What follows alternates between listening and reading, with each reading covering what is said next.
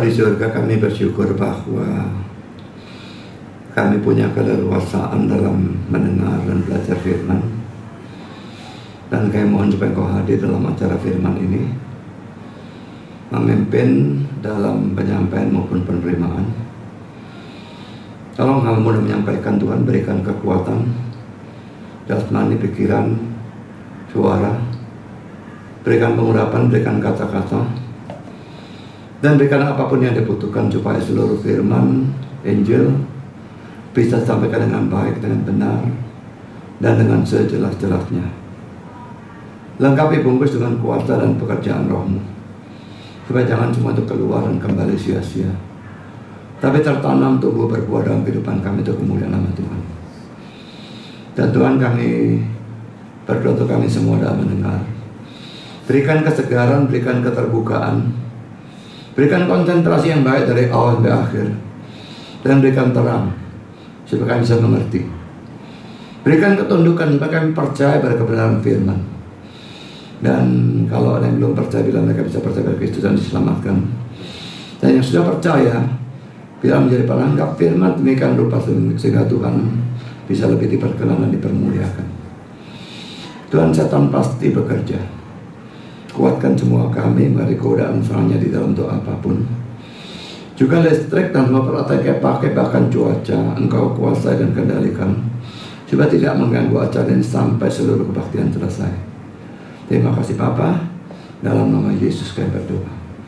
Amin. Kita melanjutkan seri Elisa ya. Jadi saya kira sementara saya membahas ajaran Erastus Sardono di dalam uh, seminar hari Rabu setiap Rabu, waktu saya tersita habis-habisan sehingga uh, untuk khotbah minggu ini harus khotbah yang lama yang disampaikan. Mungkin tidak harus dari Elisa mungkin bisa nanti ganti dari yang lain bergantian begitu. Tapi pokoknya khotbah lama yang diulang tapi yang hari Rabu itu betul-betul baru. Saudara ini adalah seri Elisa yang ke-8 Saya lupa tuliskan Elisanya. Nanti akan saya tambahkan. Dan ini membahas dua Raja-Raja 5 ayat 1 sampai dengan 27 Tetapi ini adalah session yang pertama. Jadi pembahasan teks ini lebih dari satu session Dan akan dilanjutkan pada dua minggu yang akan datang Karena minggu depan Roy yang khotbah. Dua Raja pasal 5 kita baca ya. Ayat 1 sampai dengan ayat yang ke-27 Uh, sambil baca sambil diingat karena nanti dalam pembahasannya biasanya ayatnya saya tuliskan di sini tidak karena ceritanya cerita yang populer dan ini saya kira mudah diingat. Tapi saya berikan petunjuk dulu biasanya saya tuliskan yang kali ini hanya sangat sedikit yang saya tuliskan ayatnya Naaman Panglima Raja Aram adalah seorang terpandang di hadapan tuannya dan sangat disayangi Sebab oleh dia Tuhan telah memberikan kemenangan kepada orang Aram. Tetapi orang itu seorang pahlawan tentara sakit kusta. Orang Aram pernah keluar bergerombolan dan membawa tertawan seorang anak perempuan dari negeri Israel. Ia menjadi pelayan pada istri Naaman. Berkatalah gadis itu kepada nyonyanya, Sekiranya Tuanku menghadap Nabi yang di Samaria itu maka tentulah Nabi itu akan menyembuhkan dia dari penyakitnya. Lalu pergilah Naaman memberitahukan kepada tuannya Katanya begini-begini dikatakan oleh gadis yang dari negeri Israel itu Maka jawab Raja Aram Baik pergilah dan aku akan mengirim surat kepada Raja Israel Lalu pergilah Naaman dan membawa sebagai persembahan Sepuluh talenta perak dan enam ribu shikal emas. Dan sepuluh potong pakaian. Ia menyampaikan surat itu kepada Raja Israel yang berbunyi Sesampainya surat ini kepadamu maklumlah kiranya bahwa aku menyuruh kepadamu Naaman pegawaiku supaya engkau menyembuhkan dia dari penyakit kustanya. Segera sesudah Raja Isa membaca surat itu dikoyakkannya lah pakaiannya serta berkata, Allahkah aku ini yang dapat mematikan dan menghidupkan sehingga orang ini mengirim pesan kepadaku supaya ku sembuhkan seorang dari penyakit kustanya. Tetapi sesungguhnya perhatikanlah dan lihatlah, ia mencari gara-gara terhadap aku Segera sesudah didengar Elisa anak abdi Allah itu bahwa Raja Isa mengoyakkan pakaiannya. Dikirimnyalah pesan kepada Raja bunyinya Mengapa engkau mengoyakkan pakaianmu? Biarlah ia datang kepadaku supaya ia tahu Bahwa ada seorang nabi di Israel Kemudian datanglah Naaman dengan kudanya dan keretanya Lalu berhenti di depan pintu rumah Elisa Elisa menyuruh seorang suruhan kepadanya mengatakan Pergilah mandi tujuh kali dalam sungai Yordan maka tubuhmu akan pulih kembali sehingga engkau menjadi tahir. Tetapi pergilah Naaman dengan gusar sambil berkata, Aku sangka bahwa setidak-tidaknya ia datang keluar dan berdiri memanggil nama Tuhan Allahnya. Lalu menggerakkan tak menggerak-gerakkan tangannya di atas tempat penyakit itu dan dengan demikian menyembuhkan penyakit kustaku. Bukankah Abana dan Parpar, sungai-sungai Damsyik lebih baik dari segala sungai di Israel? Bukankah aku dapat mandi di sana menjadi tahir? Kemudian berpalinglah dia dan pergi dengan panas hati.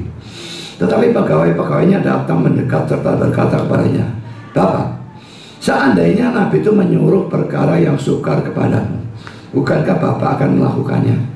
Apalagi sekarang ia hanya berkata kepadamu, mandilah dan engkau akan menjadi tahir.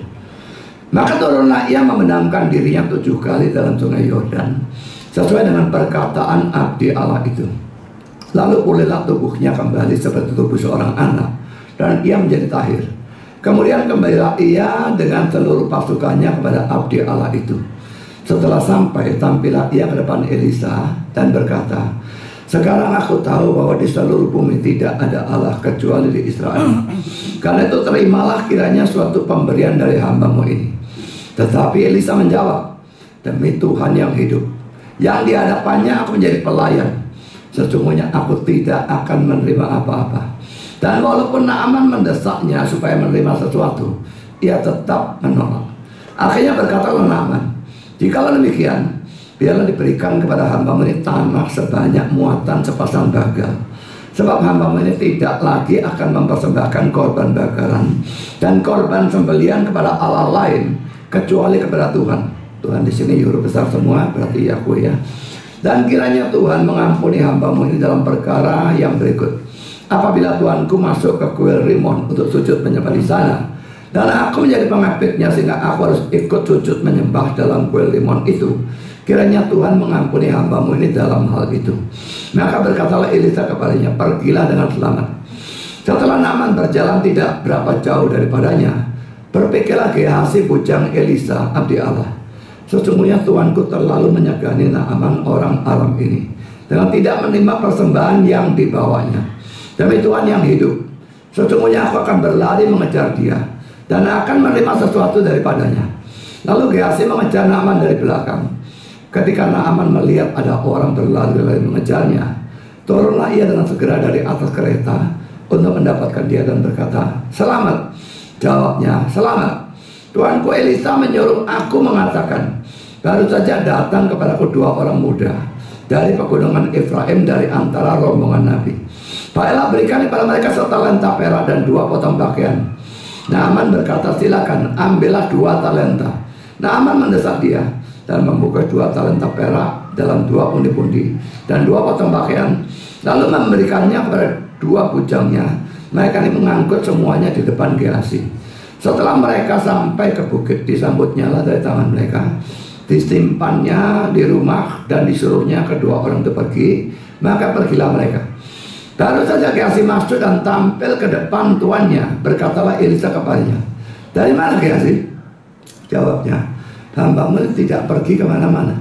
Tetapi kata Elisa kepadanya bukankah hatiku ikut pergi ketika orang itu turun turun dari atas keretanya mendapatkan engkau maka sekarang engkau telah menerima perak dan dengan itu dapat memperoleh kebun-kebun, kebun zaitun, kebun anggur, kambing domba, lembu sapi, budak laki-laki dan budak perempuan. Tetapi penyakit tanah aman akan melekat kepadamu dan kepada anak cucumu untuk selama-lamanya. Maka keluarlah Geasi dari depannya dengan kena kusta putih seperti salju. Cerita yang populer sekali bahkan dalam kalangan anak sekolah minggu mungkin banyak anak sekolah minggu yang sudah hafal. Saudara, pertama-tama kita akan soroti tentang Kusta Naaman. dan anak gadis Israel yang jadi budaknya itu. Pertama saudara Naaman dan Kustanya. Naaman ini kalau kita soroti saudara punya banyak keunggulan yang diceritakan dalam ayat 1. Dia adalah seorang panglima, bukan cuma tentara, panglima Raja Aram.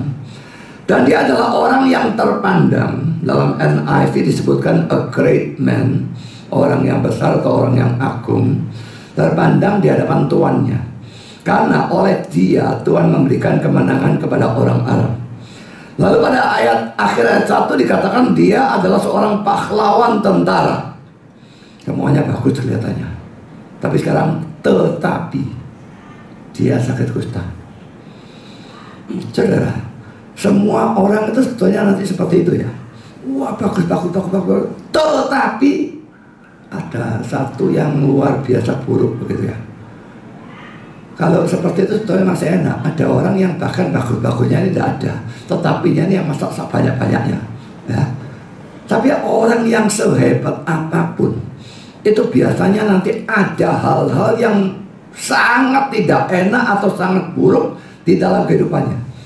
Jadi ini bagus semua, tetapi dia sakit kusta. Dan mobil commentary berkata demikian. Nilai dari kesehatan jasmani, kesehatan, berkat yang sangat berharga ini diberikan dengan begitu royal atau berlebihan sehingga manusia jarang menghargainya sampai kesehatan itu hilang.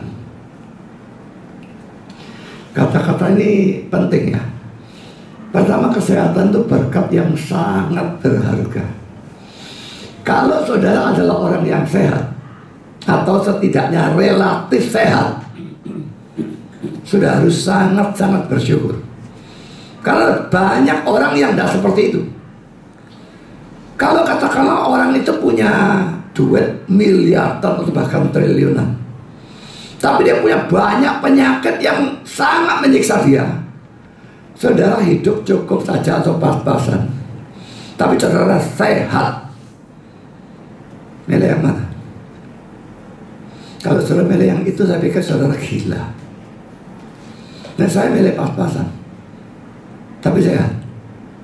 Karena bayangkan punya triliunan sakit dan triliunan tidak berguna untuk menyembuhkan penyakitnya. Pernah mikir kan?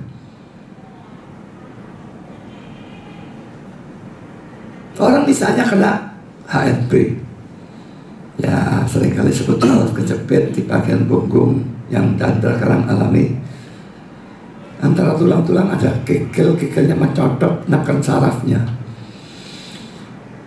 Saudara, satu sepupu saya yang sekarang sudah meninggal tuh dulu kena HNP sejak kira-kira umur 30-an. Dia seorang profesor, doktor, dokter. Prakteknya laris, dia kaya, pasti miliarder. Tapi penyakitnya tidak bisa diapa-apakan. Bisa dioperasi dengan risiko lumpuh. Jadi operasi atau sembuh atau lumpuh. Ayo kalau saudara jadi dia berani apa enggak? Enggak berani dia saudara. Setiap saat sakit jalan tuh masih moncok, nggak bisa jalan pelan. Agak bungkuk moncok itu. Kalau enggak punggungnya sakit. Wah ya bisa beli apa saja. Makan dan pakai berlimpah-limpah rumah, villa, mobil kalau dia mau beli banyak berapapun bisa. Tapi sakit seperti itu. Enak banget. Mikir saudara, ada banyak penyakit yang orang punya kekayaan tapi kekayaan tidak ada gunanya untuk penyakit tidak bisa sembuhkan. Mau dioperasi dengan risiko lumpuh, siapa yang berani?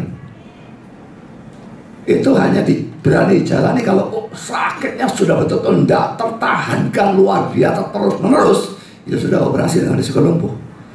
Tapi selama dia bisa tahan, dia tidak mau, tidak berani coba. Daripada lumpuh dan berani. Jadi saudara, kesehatan itu berkat yang luar biasa berharga.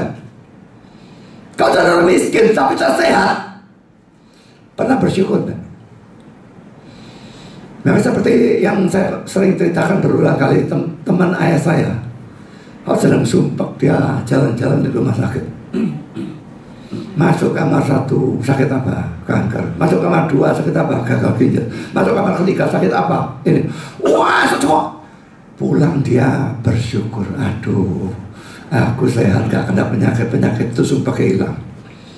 Mungkin perlu dipraktekkan saudara. Kalau saudara sering ngomel karena miskin lah ngomel karena penyakit yang ringan-ringan lah pergi ke rumah sakit dan lihat penyakit yang berat-berat itu dan bersyukur sudah kena itu. Dan kesehatan itu berkat yang sangat berharga. Ya kalau diberikan dengan begitu royal atau berlebihan itu saya kira juga enggak juga. Tapi ya banyak orang yang pokoknya sehat.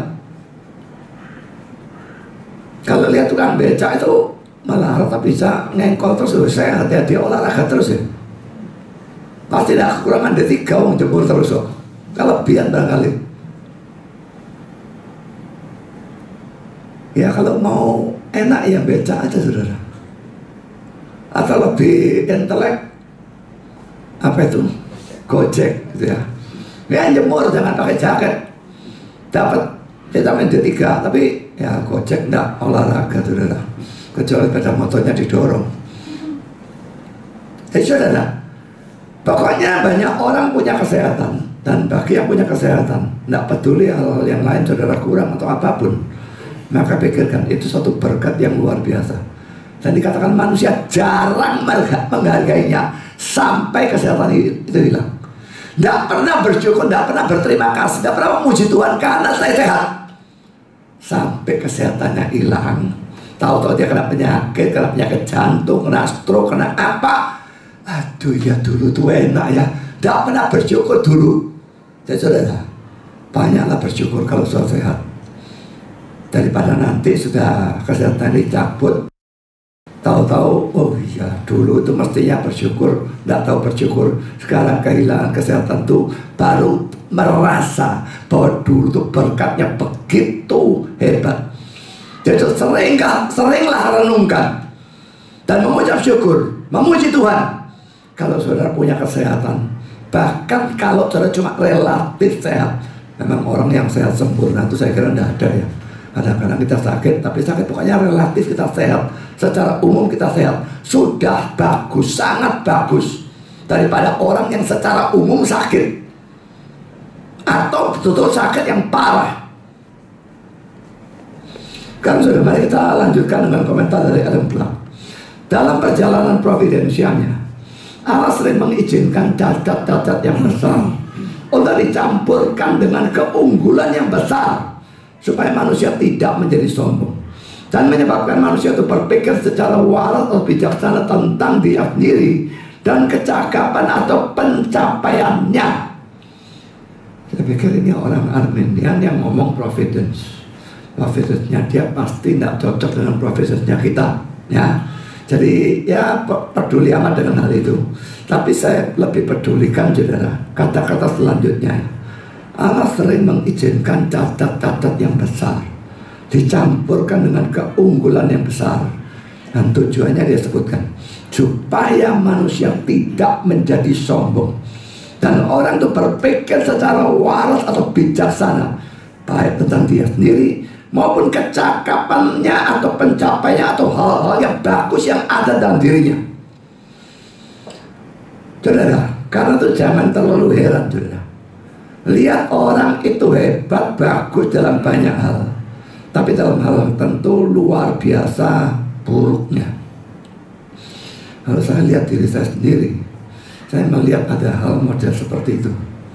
Saya tahu ada banyak hal yang bagus tentang diri saya secara fisik ya kesehatan lumayan bagus saya banyak olahraga dan sebagainya sekalipun ada hal-hal yang buruk setelah saya usianya makin lanjut. Dan dalam urusan kayak karunia saya tahu saya punya banyak karunia. Memang kalau nyanyi gak becus kalau uh, main musik gak becus sama sekali.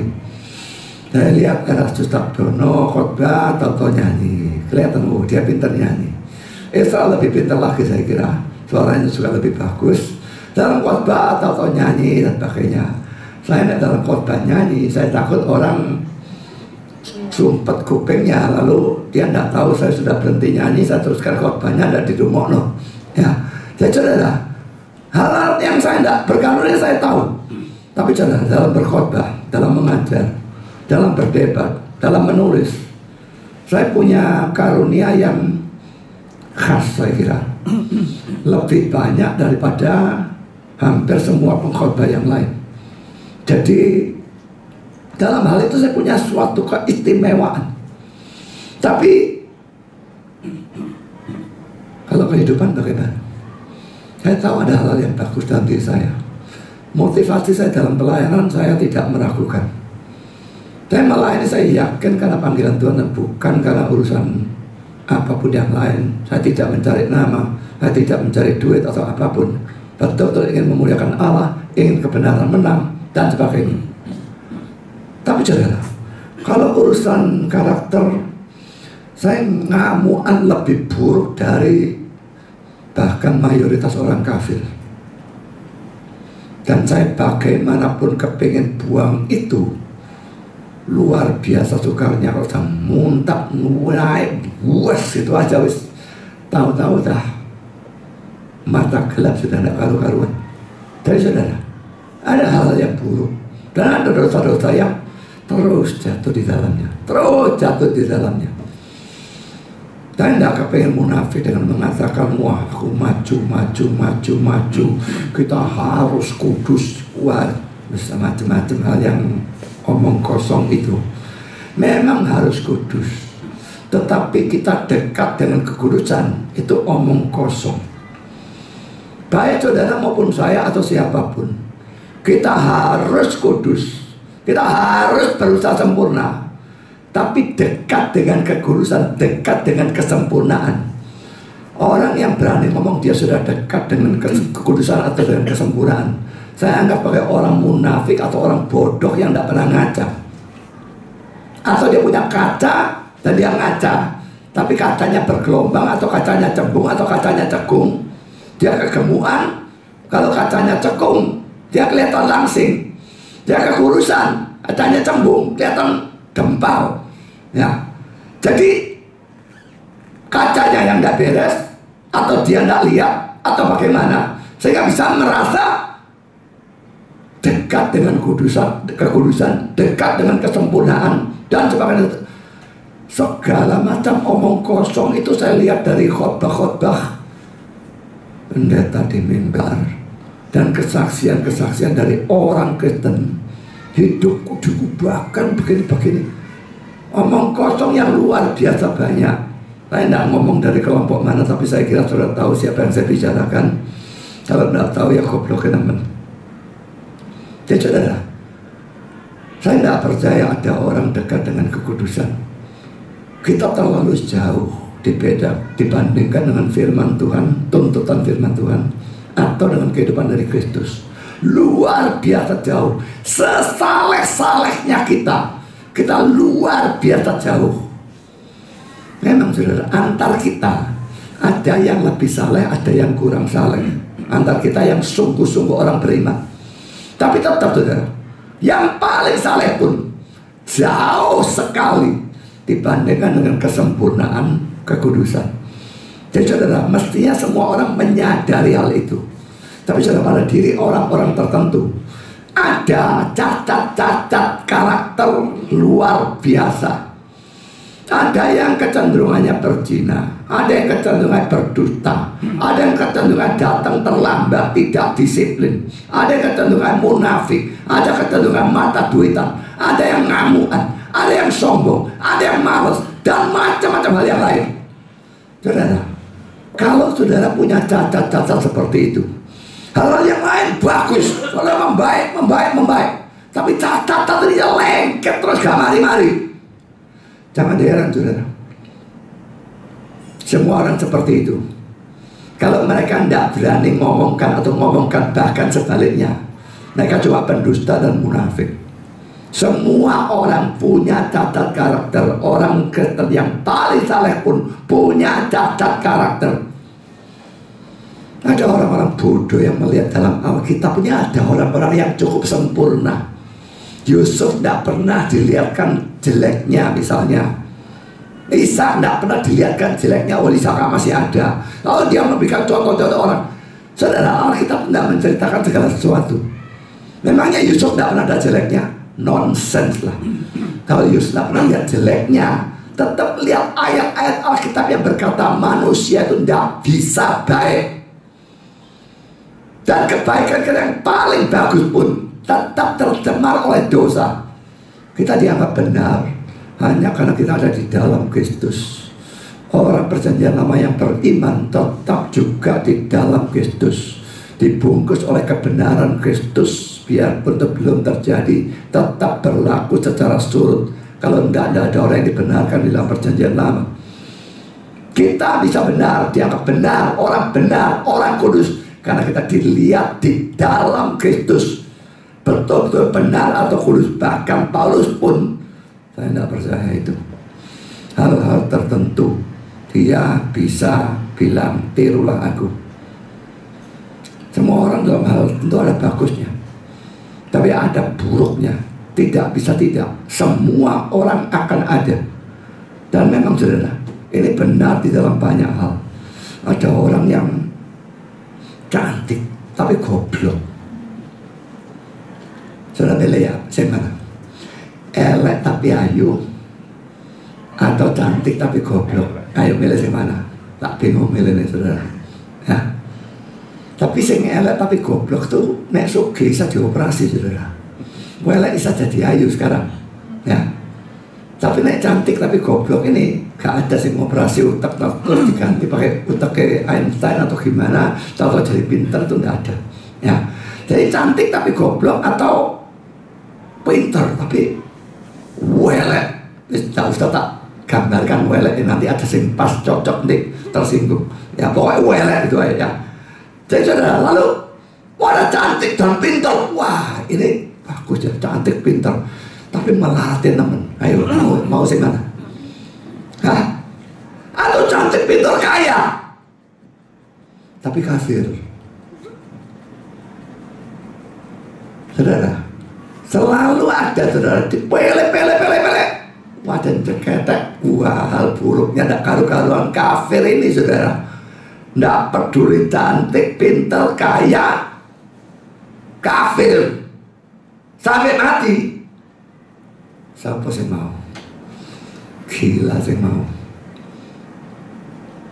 Saudara selalu ada cacat dalam diri setiap orang. Kalau saudara cacat, tidak perlu minder. Tapi itu tetap mengingatkan kita supaya kita juga tidak sombong. Minder itu kebalikannya, sebetulnya minder adalah sombongnya juga. Tapi sombong agak berbeda. Jadi cacat-cacat ini perlu kita renungkan. Di satu sisi kalau bisa kita atasi, kalau itu cacat karakter. Tapi kalau tidak bisa, ya sudah. Kita tetap pakai itu mengingatkan kita Aku orang. Aku orang biasa. Aku orang berdosa. Jangan sombong. Jangan sombongkan dengan hal-hal di mana kita maju dalam kekudusan. Jangan sombongkan karunia-karunia yang kita miliki dan sebagainya dan sebagainya. Selalu lihat hal-hal yang buruk.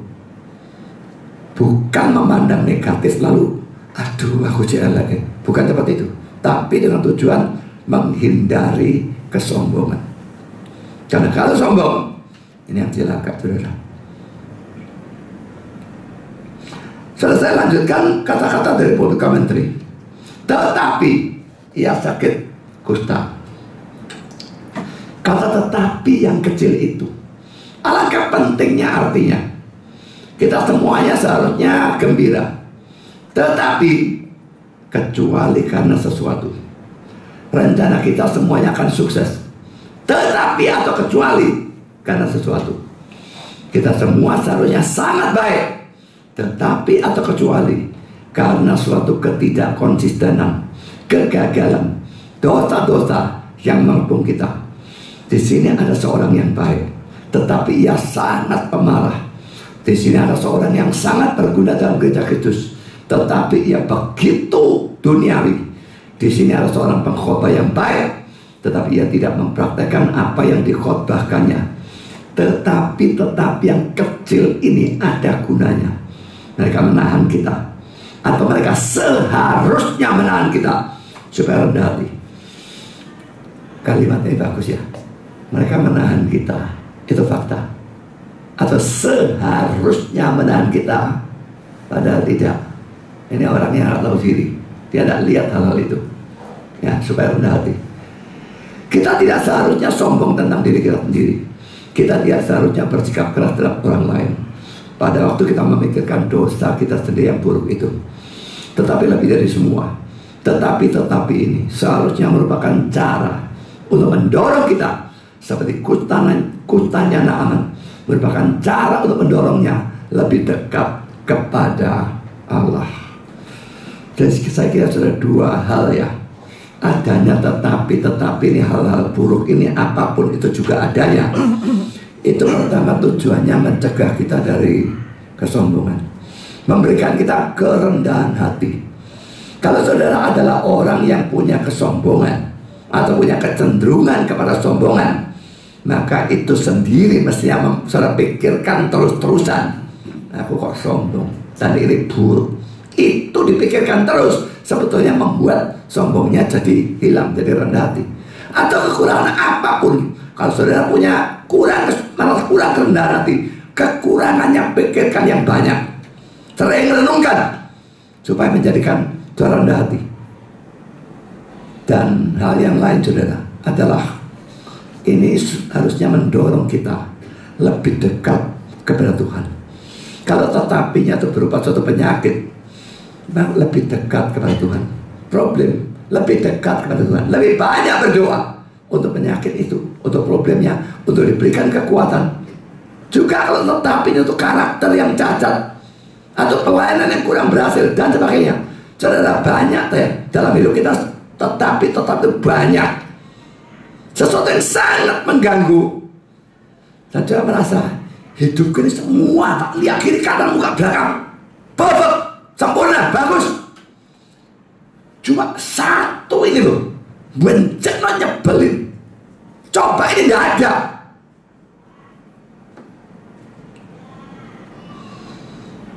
Kalau saya tinjau secara kesehatan, tetapi ya saya ini masalah tidur, problem alergi, nyiksanya luar biasa. Dan tambah problemnya telapak kaki ini. Ada kata dada itu, wah dalam kesehatan untuk umur saya 64 sangat bagus sebetulnya. Tapi tetapi tetapi ini, aduh, andai kata saja bisa disingkirkan. Dari dulu saya kepengen problem tidur disingkirkan.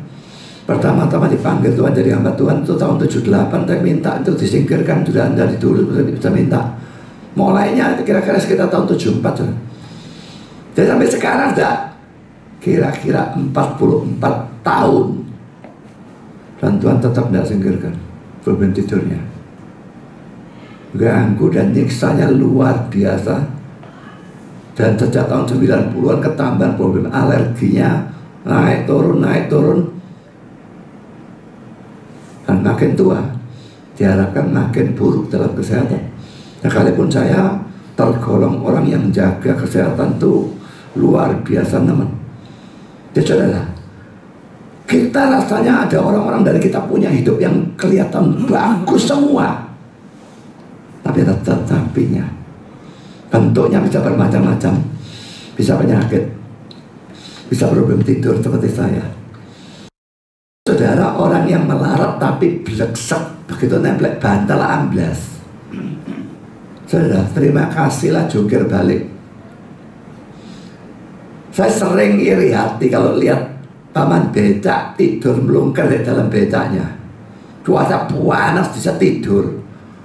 Orang yang jualan apa itu ya? Rokok di rombong cilik itu melungker di dalam rombongnya tidur. Saya pikir aku di ranjang enak empuk pakai AC gak bisa tidur. Orang-orang tuh di becaknya, di rombong lungker gitu bisa tidur. Orang ada yang berbaring di lantai tanpa bantal bisa tidur. Ya oh jalannya. Dan saya iri hati dengan orang-orang seperti dalam urusan tidur. Jadi kalau saudara adalah orang yang bleksek, bukan bleksek mati ya, bleksek tidur, bersyukurlah jungkir balik. Tidak peduli kalau saudara bandingkan diri saudara dengan saya, kok enak Pak? Budi punya ini, punya ini, punya ini, punya macam-macam. Tapi satu problem tidur itu itu menjomplangkan timbangan kalau saudara dibandingkan dengan saya. Tidak enaknya setengah mati. Dan saudara jangan pernah bilang Pak Budi insomnia dia jadi no problem masalah besar. Aku ya pernah gak bisa tidur. Saya beritahu saudara ya orang yang tidak bisa tidur cuma sekali dalam beberapa bulan kebetulan ada pikiran apa ada ini ada itu. Satu hari dalam beberapa bulan bisa tidur. Atau satu hari sebulan. Itu beda langit dengan bumi. Dengan orang yang tiap hari berjuang dengan masalah itu seperti saya. Luar biasa beda. Saya tidak akan pernah ngerti orang yang memang tiap hari berjuang untuk tidur lakukan apa pun dalam panjang hari. Jangan pemikiran jangan sampai malam tidurnya terganggu. Jaga makan minuman model yang kopi bahkan teh. Pokoknya sore sekitar di atas jam 2 jam 3 saya buangi semua. Obat-obat yang stimulan vitamin B kompleks buangi semua. Bahkan obat flu lihat mengandung kafein tak pakai lakukan apa pun olahraga supaya bisa tidur dan repotnya dalam diri saya kalau olahraganya kebanyakan tidak bisa tidur. Jadi saudara, mikirkan semua untuk hal itu supaya bisa tidur. Kalau tidak, besoknya ada kerja. Jangan anggap enteng, ini problem menyiksa saya dan banyak kali membuat saya kepingin mati. Tetapi dalam hidup saya ya, hal yang lain, ada orang yang belum punya pacar atau belum punya pasangan hidup, semuanya bagus kayaknya. Tapi kok single terus ya? Atau jadi single lagi ya saya gitulah. Jadi caranya bisa tetapi juga kan? Ada orang yang double tapi tidak punya anak. Bagaimanapun berusaha gak bisa punya anak kepengen mati-matian gak bisa punya anak atau tetapi yang lain, saudara punya suami atau istri yang cerewet atau yang belum bertobat. Sudah kafir cerewet pisan. Buah wele setengah mati wak wak wak wak wak wak wak tahu harus gak mari mari ngoceh nyocot aja mari mari. Greget saudara. Semuanya kan bagus, kerjaan bagus, duit bagus. Cuma kuping gue buat bekal tak jejeli tungkap. Nah saudara ini tetapi ini problem ini kayak duri dalam daging saudara. Lalu saudara semua bagus, kesehatan bagus, keluarga bagus, tetapi gak punya pekerjaan. Nyari setengah mati, tak dapat dapat pekerjaan, bukan tidak mau kerja, bukan tidak mampu kerja, tidak punya pekerjaan. atau oh punya pekerjaan. Bosnya nyebelin. Pol mentok gak ada bos padahal bosok punya pekerjaan. Bayaran cukup bagus. Cuma bos itu ini nak mesu-mesu nak rewel kak bersikap tidak fair lah macam-macam atau dosa-dosa atau kelemahan-kelemahan saudara itu bisa sangat menyiksa ya. Makin dekat saudara dengan Tuhan, makin dosa-dosa yang lengkap nak mau hilang itu kelemahan-kelemahan itu menyiksa. Kalau saya punya kelemahan dan itu tidak menyiksa, maka atau saudara belum Kristen atau Kristen tapi rohaninya rendah. Makin tinggi rohani saudara, makin dekat saudara Tuhan, makin dosa-dosa itu menyiksa lebih dari siksaan jasmani yang lain apa pun juga. Lalu contoh yang lain mungkin ini cocok dengan saya atau kita hasil atau buah pelayanan yang hanya sedikit atau bahkan tidak ada. Hebat katakan hebat dengan agama lain. Berapa kali saya lakukan? Orang tanya ada yang bertobat? Untungnya dalam hal itu saya punya sikap yang cukup bagus. Bukan urusan saya mereka bertobat atau tidak Urusan saya adalah menyampaikan Injil kepada mereka dalam perdebatan itu. Membela doktrin-doktrin yang Kristen yang diserang. Tapi nomor satu Injil. Bela doktrin-doktrin Kristen yang diserang supaya mereka tahu Kristen tidak seburuk yang mereka pikirkan. Kalau itu sudah saya berikan, bertobat atau tidak bertobat itu urusan mereka dengan Tuhan. Ada orang yang bilang ini waktu khotbah saya tentang Erastus Sabdono itu pertama kali saya keluarkan saya kira ya. Dan dia berkata, gak ada gunanya khotbahmu. Khotbahmu mau serang apa pun itu lihat dulu. Di semua gerejanya Erastus tetap luaris, tetap orang mendengarkan dia. Saya juga berkata secara sama, itu bukan urusanku. Dan saya katakan, firman yang diberitakan, firman yang benar yang diberitakan oleh saya atau oleh siapa pun, atau itu mempertobatkan, dipakai Tuhan untuk mempertobatkan orang yang dengar, atau kalau itu tidak terjadi, akan dipakai pada akhir zaman untuk menghakimi. Yohanes 12 ayat 47 48 baca sendiri ayatnya. Jadi saudara, kalau saudara nginjil, kalau saudara menyampaikan firman atau apa pun, tak usah terlalu mikirin buahnya, hasilnya. Tapi saya itu bukan urusan. Makanya saya bisa tetap bertahan, menter betulnya ya, tergolong menter. Khotbah ngotot, pelayanan ngotot, nginjil ngotot. Hari yang datang bahkan 15 saja tidak ada. Sore kadang-kadang 10 tidak ada. PA 10 tidak ada. Hanya berapa puluh orang, 20, 30.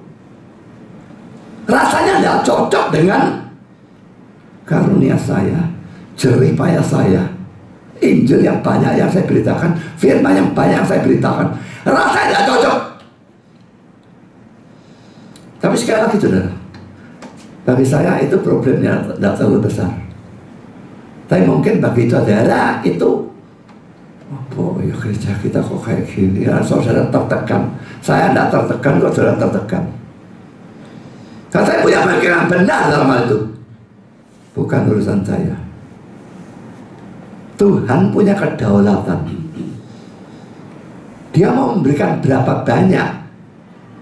Apakah itu dalam bentuk uang atau kesehatan? Atau dalam kasus pelayanan berapa banyak jemaat kepada seorang pengkhotbah itu hak dia.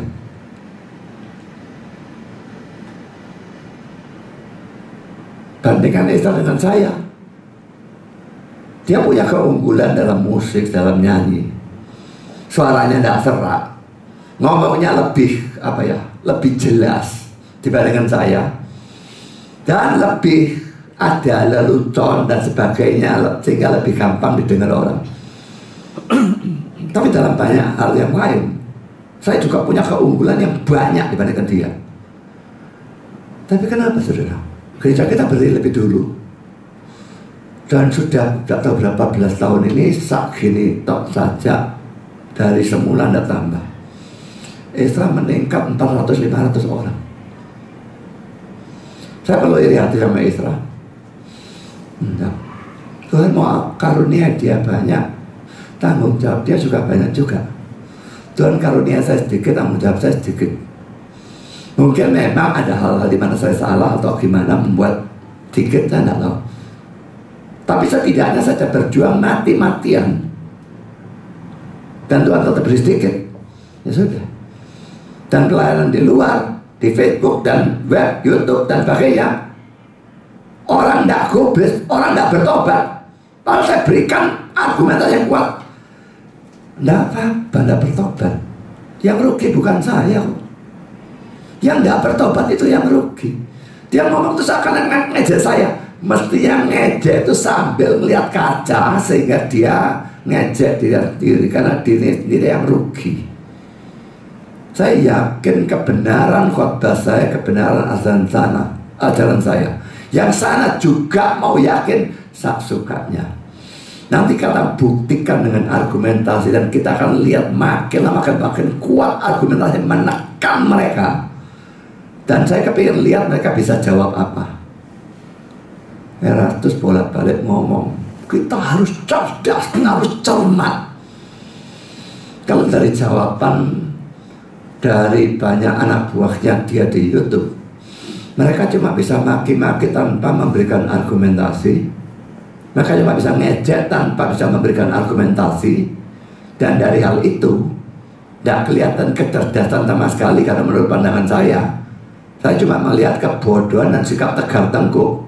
Kekudusan juga tidak kelihatan. Kecerdasan juga tidak kelihatan.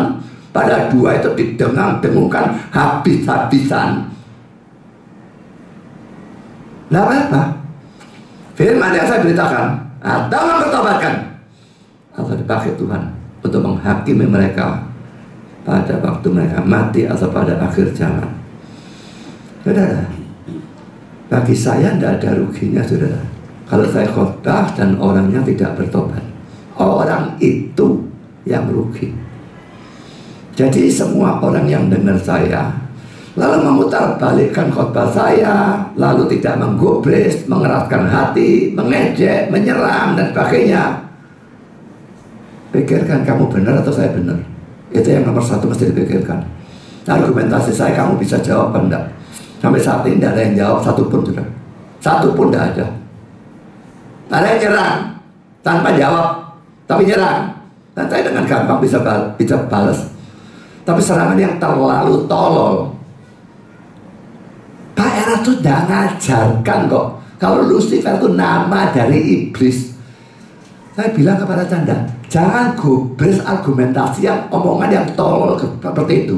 Tidak usah dijawab belas.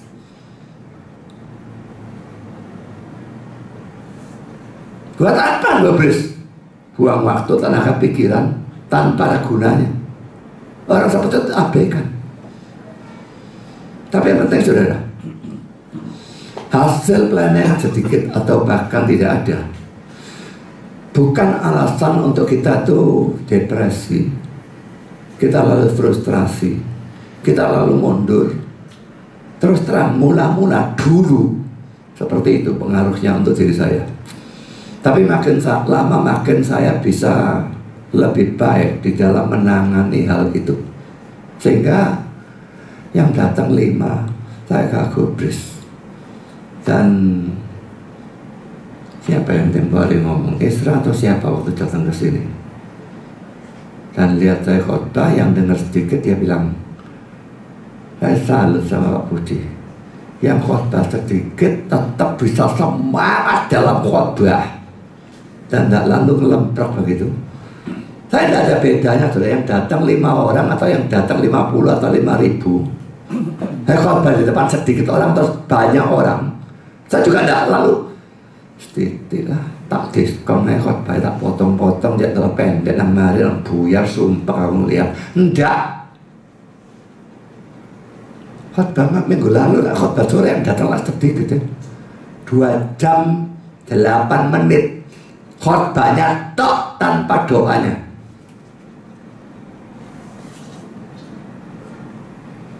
Jadi saya tidak pernah memperpendek tidak peduli orangnya sedikit saya tidak gubris tentang hasil. Saya serahkan kepada Tuhan. Tugas saya lakukan yang baik, sebaik-baiknya. Khotbahkan benar, buat argumentasi yang sekuat mungkin, sampaikan sebagus mungkin. Hasil urusan Tuhan. Jadi saudara sekarang pikirkan hal-hal yang sudah saya sebutkan dari penyakit, beban tidur, punya pacar, tidak punya anak dan sebagainya. Apakah hal-hal ini membuat saudara lebih rendah hati? Kalau tidak, saudara kurang merenungkan tetapi-tetapi dalam hidup saudara. Dan apakah hal itu mendorong satu lebih dekat pada Tuhan atau lebih bersama pada Tuhan? Kalau tidak, berarti cacat-cacat itu saudara kepingin biarkan begitu saja atau bagaimana? Jadi saudara mestinya mendorong lebih rendah hati dan mendorong kita lebih dekat pada Tuhan. Kustanya Naaman membuat dia datang kepada Nabi Tuhan dan akhirnya datang kepada Tuhannya sendiri. Kalau cuma datang sampai pada pendeta, mandat pendeta, mati sudah masuk neraka. Tidak peduli pendetanya sehebat apa. Bahkan sudah datang pada Rasul Paulus, sudah mati masuk neraka.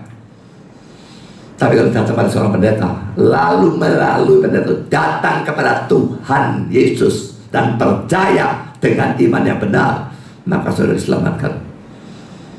Naaman datang pada Elisa, lalu melalui Elisa datang pada Tuhan sendiri. Dan saya yakin dia diselamatkan. Hati-hati saudara, jangan datang kepada seorang pendeta dan berhenti pada pendeta itu. Siapa pun pendeta itu, saudara akan masuk neraka. Kalau saudara berhenti pada pendeta itu, lebih-lebih sesat. Pendetanya benar saja, Injili Alkitab dia bagus pol. Datang pada dia dan berhenti pada dia, saudara masuk neraka. Jangan main-main saudara, tanpa juru selamat tidak ada yang terkecuali tanpa percaya pada Kristus sebagai Tuhan dan Juru Selamat. Percaya pada doktrin hanya iman, sola fide. Saudara akan binasa dan masuk neraka selama-lamanya. Saya lanjutkan saudara. Boleh komentar saudara. Tetapi ia sakit kusta. Ini merusak segala-galanya. Itu adalah salib dalam nasibnya. Tetesan empedu dalam cawannya. Cacing pada akar dari kemakmurannya. Itu membuatnya sedemikian rupa sehingga tentara yang pangkatnya terendah pun tidak akan mau bertukar tempat dengan dia. Hanya sedikit kehidupan bahkan kehidupan-kehidupan yang paling menjadi objek iri hati yang tidak mempunyai salib karena itu kita harus mencari kebahagiaan kita dalam hal-hal yang abadi. Ia yang membangun di bawah langit, membangun terlalu rendah. Saudara, kata-kata itu, kata salib itu saya beri warna merah ya. Dua kali kata salib. Saya berpendapat penafsirnya harus lebih hati-hati dalam menggunakan istilah salib. Salib itu bukan seadanya tetapi Salib itu bukan seadanya penderitaan Salib itu adalah penderitaan yang khusus Penderitaan yang terjadi Dan kita alami Karena Kristus Karena Injil Karena iman kita Karena pelayanan kita Kalau bukan karena itu Penderitaan biasa-biasa Saudara menderita karena gempa bumi itu gak ada urusannya saudara dengan iman saudara. Beriman gak beriman kena semua. Kena tsunami, kena badai. Atau goncangan ekonomi. Kena semua. Gak ada urusannya dan itu tidak bisa disebut sebagai salib. Jadi hati-hati. Tapi pokoknya kita tahu apa yang dia maksudkan ya. Cuma istilah salib itu saya kira digunakan secara salah. Saudara, bayangkan aman ya Sehebat apa panglima, kaya, wah perang pinter, strateginya pinter. Ada gustanya satu itu, tentara yang paling bawah. Wah apa namanya pangkatnya? Kopral. Saya tidak tahu paling bawah apa, saya tidak ngerti pangkat. Paling bawah kopral, goblok, berantem saja kalah, nembak luput. Semuanya paling buruk. Tapi sehat. Gak mau, gak sudi, gak bertukar tempat sama itu. Dapat gustanya. Gak ada yang mau.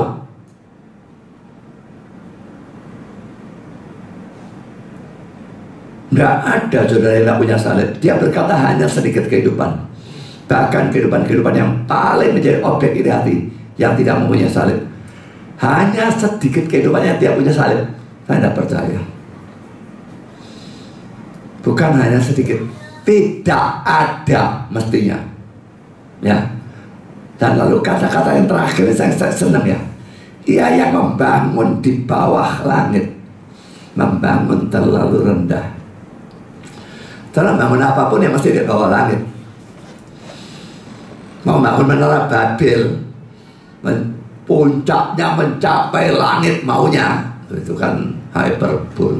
Sak goblok-gobloknya mereka, mereka ya tahu tidak mungkin puncaknya mencapai langit itu hiperbola, saudara. Pencakan langit sekarang. Wah 500 meter, 1000 meter. Saya nggak peduli lah mau berapa. Saya kira belum ada yang satu kilometer saya kira. Saya sudah membangun apa pun setinggi apa pun Tetap di bawah langit. Membangun sebagus apa pun Tetap di bawah langit. Dan itu Membangun terlalu rendah. Daripada membangun hal-hal jasmani Kekaisaran konglomerat konglomerat itu membangun suatu kekaisaran dalam tanda petik. Ya. Wah hebat, megah, mewah. Saya sering lihat uh, atlet-atlet yang prestasi dunia petinju model seperti Mike Tyson, Holyfield, petenis seperti Maria Sarapova dan sebagainya, bintang-bintang film apa yang mereka miliki? Saya cari di Google dan sebagainya, kadang-kadang YouTube. Wah, tunjukkan rumah mewahnya, mobil mewahnya. Wah, mobil yang apa itu? Pintu yang buka pakai ke atas dan tak satu banyak mobilnya penghasilannya berapa berapa buih, buih, buih, buih, buih. tapi saudara membangun kekaisaran seperti itu. Apa gunanya saudara?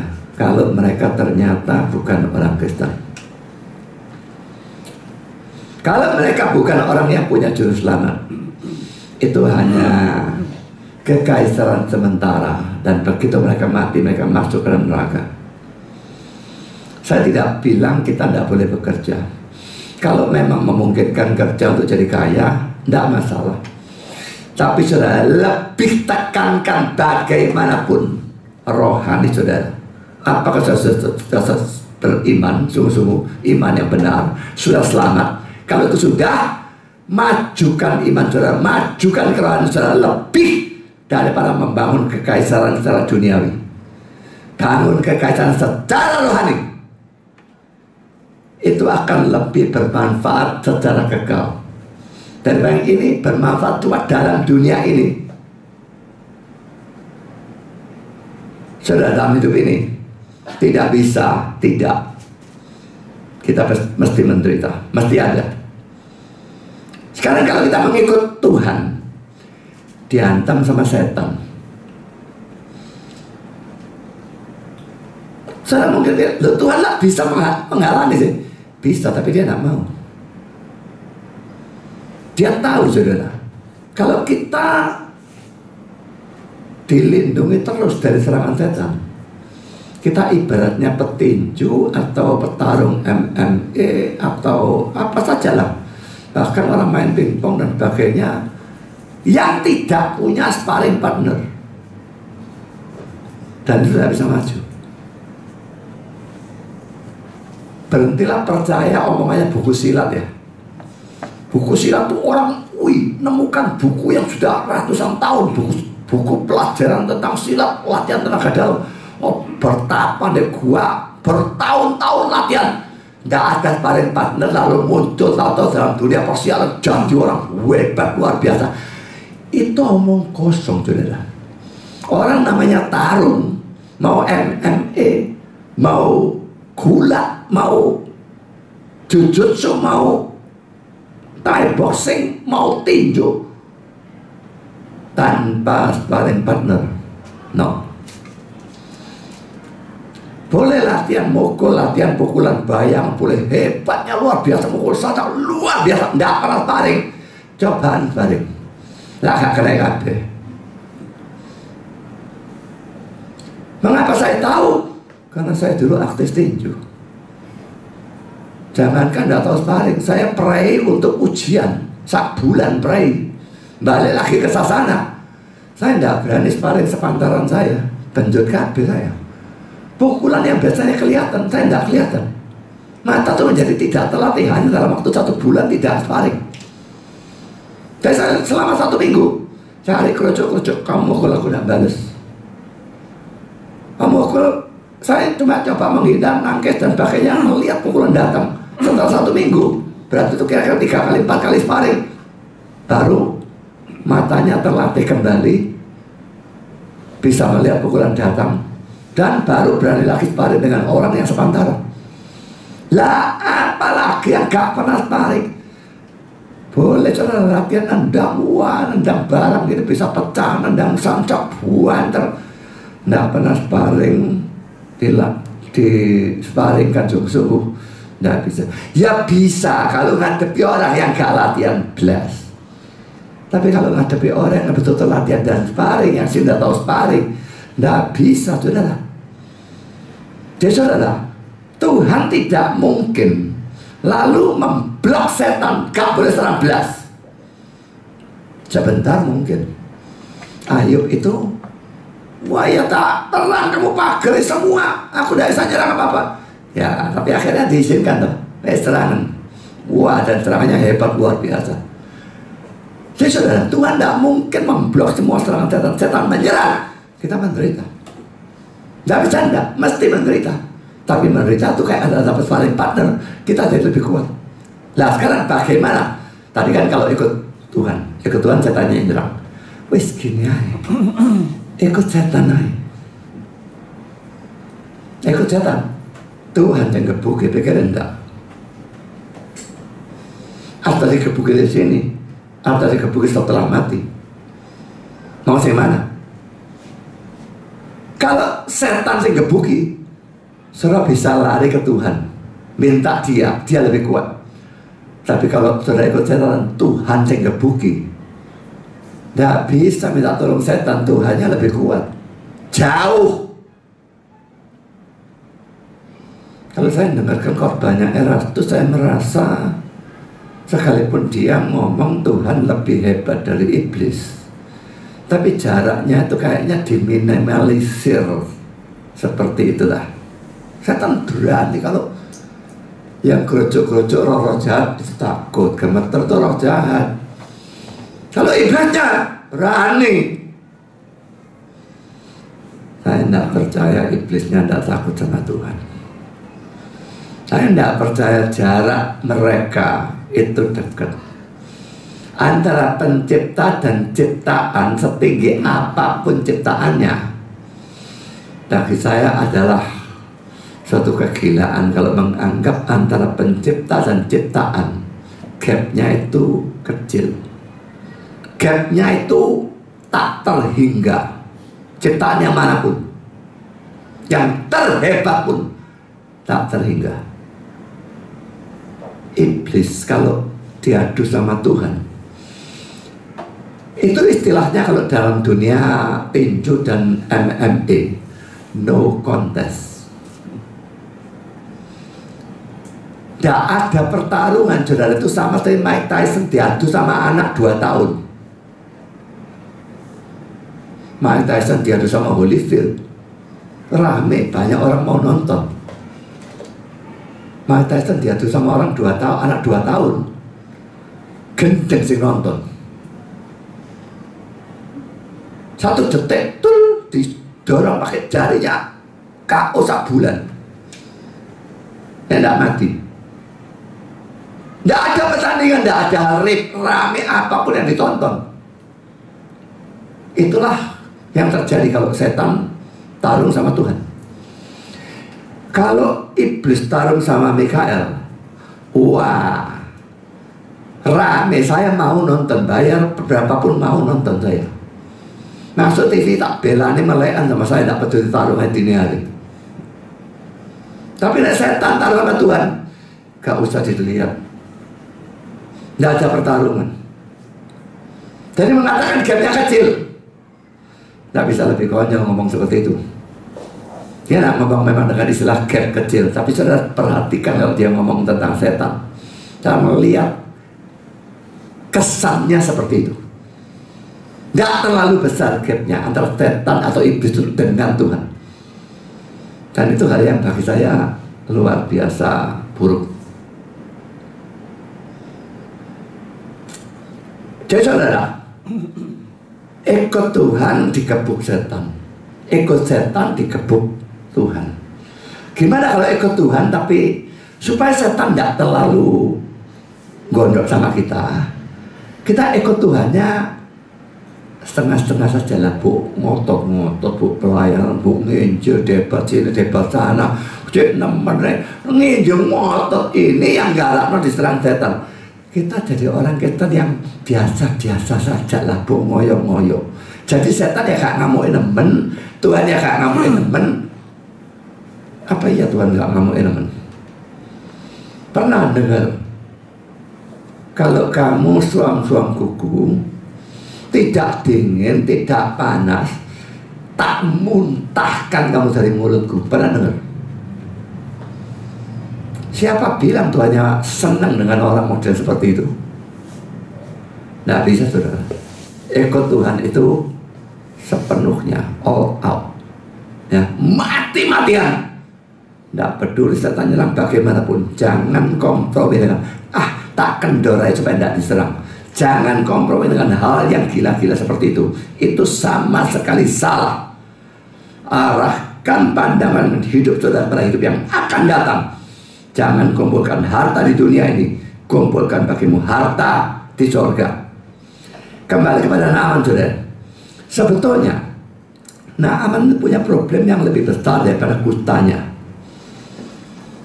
Yang tidak dia sadari yaitu problem yang sifatnya rohani. Dia tidak kenal Tuhan, dia sembah Allah kafir, berhala, rimon mungkin. Problem yang luar biasa, jauh lebih hebat dari problem kustanya. Itu kan fisik. Ini rohani jauh lebih hebat dan tidak dia sadari. Yang ini dia sadari, yang itu sama sekali tidak.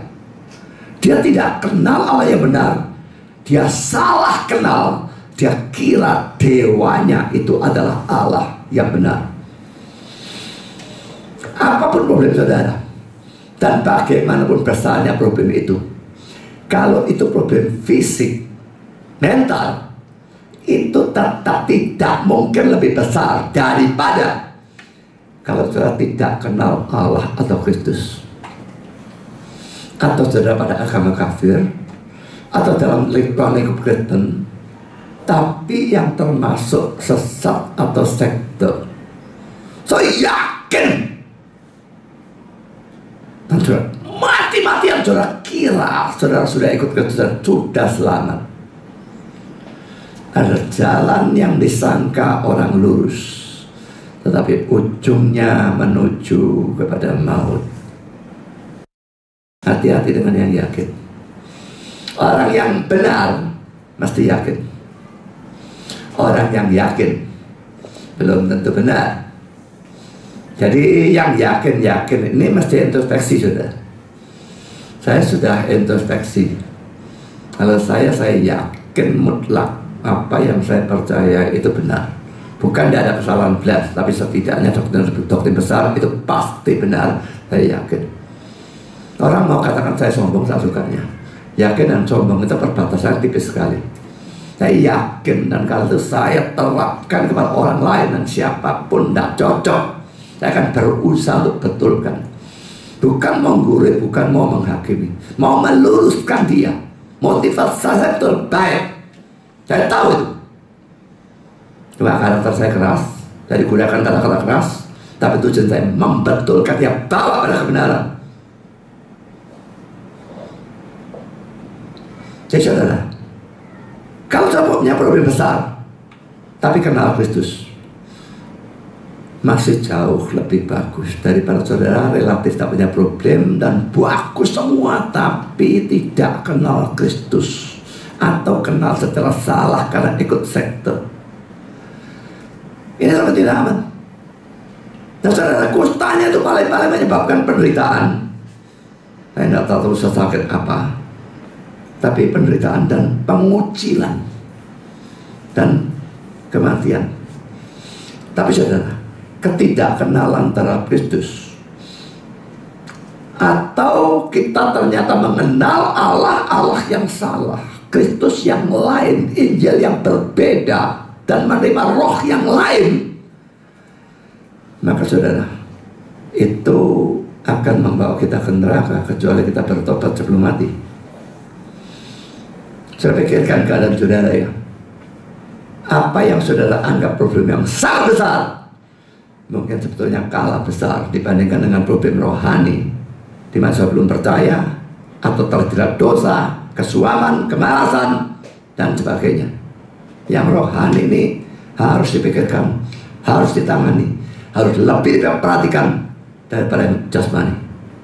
Sekalipun ini bukan diremehkan, tapi yang ini lebih ditekankan. Karena sudah kita selesai bicara Naaman.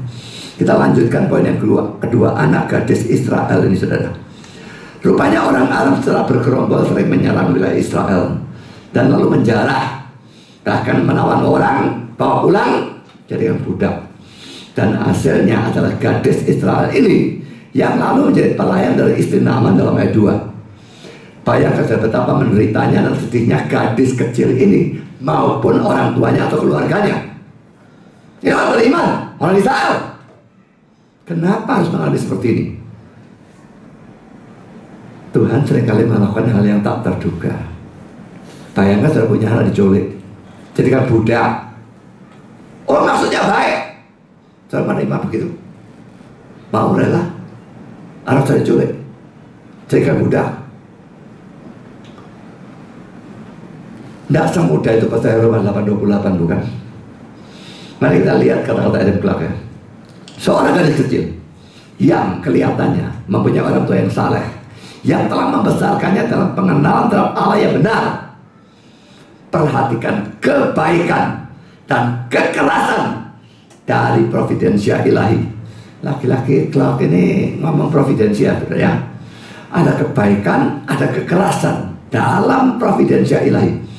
Orang tua yang penuh kasih sayang kehilangan anak perempuannya yang menjanjikan. Karena sekelompok perampok yang tidak mempedulikan hukum tanpa protes sedikit pun bahwa ia akan mendapatkan bagian dalam hidup kecuali kesengsaraan, keburukan dan kesedihan. Saya tahu dari mana orang tuanya saleh. Karena anak kecil ini saleh. Dia bisa berani bicara tentang agamanya dan nabinya. Cerita kepada istrinya Naaman. Kalau Tuhanku pergi ke Nabi yang di Samaria akan sembuh. Di tengah-tengah orang kafir nyembah Dewa Rimon dia tidak takut ngomongkan agamanya. Dia tetap pegang agamanya. Dia dalam tanda petik memberitakan Injil. Dia tetap menyembah Yahweh, bukan dewanya orang Arab. Padahal andai kata di dalam lingkungan yang semuanya nyembah limon itu, dia ikut nyembah dewa orang Arab itu. Itu akan lebih menyenangkan bagi majikannya sekarang majikannya anggap budak kafir tidak nolak ini apa Juga ayat tiga ini menunjukkan dia tidak mendendam kepada tentara amak, nah, tentara alam atau Naaman yang sudah menawannya. Dia ditawan, diculik, jadikan budak, jadikan pelayan. Dia tidak mendendam. Kalau dia mendendam, Ustaz syukur, syukur. Oh Nabi itu bisa bukan oh tutup mulutku plaster, oh, ban. Ojo sampai ngomong terus waras, syukur dan mati kapok. Karma itu. Mestinya kan begitu. Enggak. Dia ceritakan. Dia ingin kebaikan tuannya. Dia membalas kejahatan dengan kebaikan. Orang ini luar biasa bagus, saudara dengan menceritakan tentang Elisa yang dia anggap atau percaya bisa menyembuhkan Naaman. Saudara, tertawannya anak gadis itu menjadi pelayan dalam rumah Allah, rumah Naaman. Jelas merupakan hasil pekerjaan Allah dalam melakukan rencananya untuk menyelamatkan Naaman. Tanpa gadis itu, tidak ada Injil kepada Naaman. Dari mana tahu dia tentang Elisa dan sebagainya? Bisa ini, bisa tidak bakal pergi ke sana dan tidak kenal Elisa, tidak kenal Tuhannya. Tapi Tuhan punya orang pilihan bahkan di dalam kalangan kafir ini. Cuma dia tobatkan dengan cara yang menyiksa orang-orang yang beriman. Anaknya dicolek, anak itu sendiri dicolek, jadikan budak. Rasanya tidak fair. Tidak bisa pakai cara lain. Tuhan mau pakai cara itu titik. Dia berdaulat. Dan tetap pasti nanti membawa kebaikan bagi anak kecil itu maupun bagi keluarganya. Tapi sementara tidak kelihatan belas, kelihatan buruk, hitam, legam, gelap, pekat. Tapi jelas tujuannya untuk selamatkan aman dan nanti bawa berkat untuk mereka sendiri juga. Karena mari kita lanjutkan dengan kesembuhan dari Naaman. Saudara pertama saudara, Naaman berangkat dengan membawa surat dari Raja Aram dan banyak persembahan. Wah persembahannya itu besar sekali ya. Talenta itu besar dia bukan emas tapi perak. Lalu shikal emas, pakaian itu besar sekali. Ayat 5. Bapak kami berkata demikian. Jumlah yang sangat besar ini tak dilakukan lagi dimaksudkan untuk membeli kesembuhan Nek dika yakin Nabi ini ini Senang hati ini mau doakan aku sembuhkan aku gitu ya. Jadi membeli kesembuhan. Sebuah gagasan kafir yang lain. Dekat dengan pikiran modern yang mengatakan Bahwa apa pun bisa dibeli dengan uang. Saudara-saudara punya uh, moto seperti itu? Wah, uang mana Karena apa pun uang bisa beli Jelas saya percaya banyak hal bisa dibeli dengan uang. Tapi mengatakan apa pun bisa dibeli, nonsense. Kesembuhan tidak selalu bisa dibeli. Dan keselamatan sudah pasti tidak bisa dibeli. Duit bisa membuat paspor ke mana pun dan membawa saudara pergi ke mana pun kecuali ke surga. Saya lanjutkan, Elisa mengajarnya secara berbeda pada waktu kesembuhan itu sudah terjadi ayat 16 dia tolak semua saudara. Ada berkat-berkat yang ada di luar jangkauan uang. Tetapi sekalipun demikian bisa dimiliki tanpa uang dan tanpa harga. Yesaya 55 ini jelas maksudnya keselamatannya. Saya bacakan Yesaya 55 ayo hai semua orang yang haus marilah dan minumlah air dan hai orang yang tidak mempunyai uang, marilah. Kalau tidak punya uang diundang berarti pasti gratis, saudara. Ya, kalau tidak gratis dia cuma undang orang yang punya uang. Terimalah gandum tanpa uang pembeli dan makanlah. Juga anggur dan susu tanpa bayaran. Saya ini gambaran keselamatan jelas. Dan jelas keselamatan itu gratis menekankan perbuatan baik supaya selamat, supaya masuk surga dan sebagainya. Itu bertentangan frontal dengan ayat ini. Tidak peduli mau pakai ayat lain sebagai dasar, itu berarti ayat itu dipuntir-puntir, tidak karu-karuan. Karena ajaran Alkitab jelas, tanpa bayaran, tanpa uang dan sebagainya. Dan ini sejalan sekali dengan Roma 3.24 supaya jelas saya baca mulai ayat 23 nya karena semua orang telah berbuat dosa dan telah kehilangan kemuliaan Allah dan oleh kasih karunia Allah telah dibenarkan dengan cuma-cuma karena penebusan dalam Kristus Yesus. Saudara Kristen ini agama yang paling enak memang karena gratis itu ya. Kasih karunia gratis kalau tekankan iman plus perbuatan baik, tidak gratis, saudara.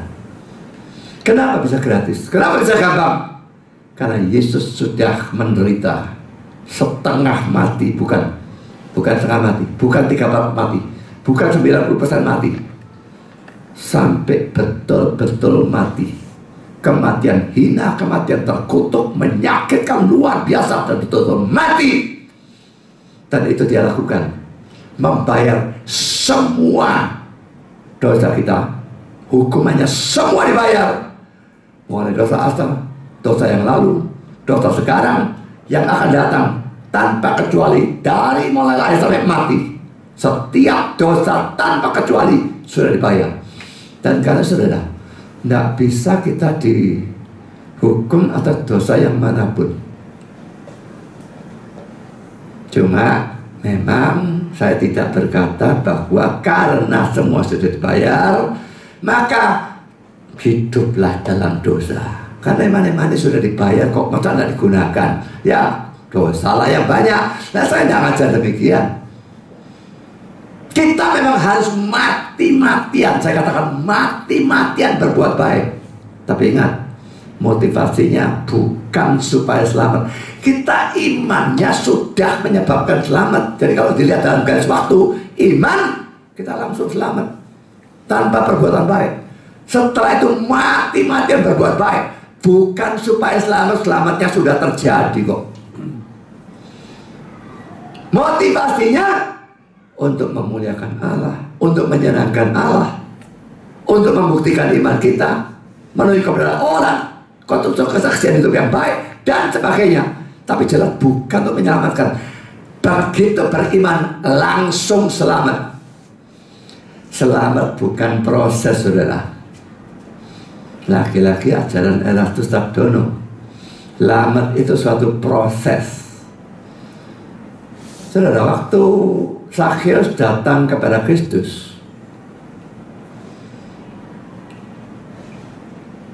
Yesus berkata apa saudara? Lukas pasal 19 itu. Baca 9 ayat 10 saudara. Hari ini terjadi keselamatan dalam rumah ini. Karena orang ini anak Abraham. Apa maksudnya anak Abraham? Abraham itu bapak orang beriman. Kalau dia anaknya, berarti dia orang berimannya. Sakheus dilihat dari tindakannya, Yesus tahu dia beriman. Dan dia bilang selamat. Kapan? Hari ini. Hari ini terjadi keselamatan. Proses. Kalau proses kan ya. Kapan selamatnya? Kalau keselamatan itu proses, kapan selamatnya? Dia mesti baik, baik, baik, baik. Baru akhirnya selamat apa begitu? Selamat itu semuanya langsung percaya pada Tuhan Yesus Kristus dan aku akan selamat. Kisah Rasul 16 ayat 21. Tidak ada keselamatan proses. Pengudusan itu proses seumur hidup, tidak akan selesai. Sampai kita mati atau setelah mati disempurnakan. Tapi keselamatan, pembenaran kita dari anak Allah itu instant Begitu kita beriman, langsung kita dibenarkan, kita jadi anak Allah, mendapatkan keselamatan, hidup yang kekal, masuk surganya nanti waktu kita mati. Tapi di sini sudah terjamin masuk surga itu pasti. Bukan baik-baik-baik, baru proses. Itu bukan ajaran Alkitab bagi saya. Keselamatan gratis dan instant. Pikirkan sudah, saya sudah selamat atau belum? Kalau saya masih berjuang supaya selamat, berarti saudara belum selamat. Yang anggap keselamatan itu proses. Saya tanya, sudah selamat apa enggak kamu ini? Kalau dia jawab ya atau dia jawab enggak, saya akan tanya, apa kriterianya? Kamu sudah melewati proses itu sudah selesai sehingga bilang sudah selamat atau kamu belum selesai prosesnya dan kamu belum selamat? Kriterianya apa? Oh sudah kudus. Kudusnya sampai tingkat dari mana? Ada tingkat-tingkat pengudusan. Sampai angka 8, angka 9 dan bagaimana nilainya 8 atau 9 atau 6 atau 10 10 tidak mungkin. 9,9 berapa nilainya? Sampai proses dia selesai dan aku sudah selamat. Dan bagaimana kamu tahu? Kalau tidak tahu, berarti kamu masih dalam proses. Kalau masih dalam proses, kamu belum selamat. Nah, ya selamat. Begitu ya? Kalau saya punya doktrin kayak gitu, aduh, saya bersuka cita luar biasa, bukan sombong. Ini keyakinan. Saya punya doktrin yang memungkinkan saya yakin saat ini dan saya kapan pun saya saya pasti masuk surga. Bukan karena saya orang baik, tapi karena saya beriman, Kristus sudah membayar semua hutang dosa saya saya yakin kapan pun saya mati, saya masuk surga. Saya tidak percaya kemurtadan. Lagi saya bukan Armenian. Saya bersyukur saya Calvinis. Keselamatan tidak bisa hilang. Murtad. Murtad itu hanya untuk orang yang tidak sungguh-sungguh beriman. 1 Yohanes 2 ayat yang ke-19. Sungguh-sungguh beriman. Tidak ada kemungkinan untuk murtad. Itu adalah Bukan hanya saya instan dan sudah selamat Tapi terjamin yang akan datang pun saya tidak mungkin kehilangan keselamatan itu Kalau saja saya punya doktrin yang sebaliknya Aduh alangkah menyedihkan Alangkah khawatirnya saya bagaimana bisa damai, sukacita, tenang Bagaimana bisa tidak takut Mengingat murtad itu mungkin, masuk neraka itu mungkin belum selamat dan tidak tahu bagaimana prosesnya selesai kapan, silakan. Saya bersyukur saya tidak punya ajaran seperti itu, saudara. Mari kita lanjutkan dengan poin yang kedua. Kebodohan atau kecerobohan dan salah paham di dalam ayat 6 dan ayat 7. Raja Aram membuat suatu kecerobohan. Berita dari anak gadis itu mengatakan bahwa yang bisa menyembuhkan Naaman adalah Nabi di Samaria. Itu pun sebetulnya salah. Tuhannya yang sembuhkan melalui Nabi. Tapi sudah Raja Aram mengirim surat kepada Raja Israel dan memintanya meminta Raja Israel untuk menyembuhkan menyembuhkan Naaman dari kutanya. Memang mungkin sekali maksudnya sebetulnya supaya Nabi eh, Raja Israel minta nabinya yang menyembuhkan Naaman. Tapi dia tidak sebutkan demikian. Tuliskan singkat saja. Akhirnya engkau sembuhkan. Dan Raja Israel tidak mengerti, salah paham. Dia cuma tahu kusta tidak bisa disembuhkan. Sehingga pada waktu Raja Aram memintanya untuk menyembuhkan Naaman. Ini cari gara-gara ini. Mau perang gak ada alasannya, ada gara-gara. Dan dia tahu dia kalah kuat, makanya dia sobek sebagai tanda berkabung dan sebagainya. Dan ingat saudara, sering kali perang atau gegeran terjadi hanya karena kecerobohan dan salah paham seperti itu. Hati-hati saudara, antara suami dengan istri, orang tua dengan anak, dengan saudara, dengan teman kerja dan sebagainya. Dalam ngomong, ini keuntungan orang yang jadi pengkhotbah yang memang punya karunia khotbah dan karunia ngajar. Ngomong itu saya bisa ngomong sedemikian jelas sehingga tidak sampai disalahpahami orang. Kalau tetap disalahpahami orang ya memang orang tidak tidak baca atau memang sengaja goblok. Yang bilang di uh, YouTube bahwa kamu tuh gak ngerti ajarannya Erastus kok dia tidak pernah nganggap Lucifer itu namanya iblis. Kalau tadi gubris lah. Saya cukup tahu apa yang saya baca. Dan saya cukup menjelaskan dengan cukup jelas orang seharusnya ngerti. Kalau pura-pura anda ngerti kalau saya jelaskan jelas orang di Facebook ya. Terus tanya. Loh, sudah tak jelas saja tanya. Kamu tidak baca ini tak blokir ke saya saya tidak menghabiskan waktu untuk orang yang tidak niat baca jadi di Facebook dan sebagainya jangan main-main tanya dengan saya tanya kepada saya saya tanya saya jawab jelas saya tanya lagi, jawaban tadi dari baca, tak blokir sama saya. Dan saya tidak mau buang waktu saya untuk orang goblok atau orang tidak niat belajar seperti itu. Lebih baik waktu saya tak gunakan untuk orang-orang yang niat belajar. Nah pelayanan menjadi efisien. Dan jangan main-main, lu kok tahu tadi blokir Pak Budi? Karena saudara bersikap goblok atau memang goblok. Sudah dijawab jelas, jawaban saya sudah dibaca atau dibaca sepintas atau dibaca dengan otak yang goblok sehingga tetap tidak tahu. Saya tidak mau buang waktu untuk orang seperti itu. Saya blokir. Jadi kalau nggak mau diblokir, mending nggak tanya. Kalau tanya, tanyalah dan baca yang jelas. Saya punya karunia menjelaskan. Sebetulnya kalau ngomong-ngomong dengan sesama dan sebagainya, tidak ada kemungkinan salah paham. Kecuali yang dengarkan laki-laki dengan sebagian. Misalnya saya umumkan, Rabu dua minggu yang akan datang libur. Saya tekankan, nah depan ada loh ya. Tak tekankan.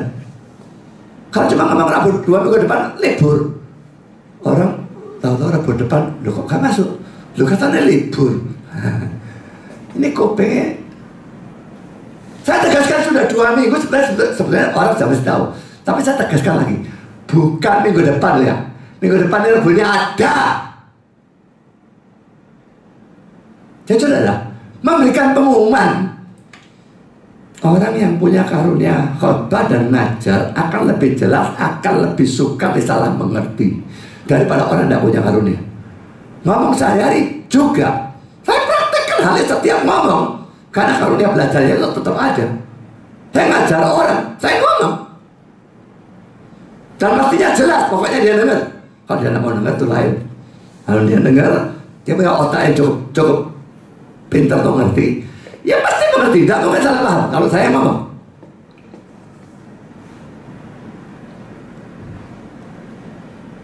Hati-hati dalam ngomong saudara.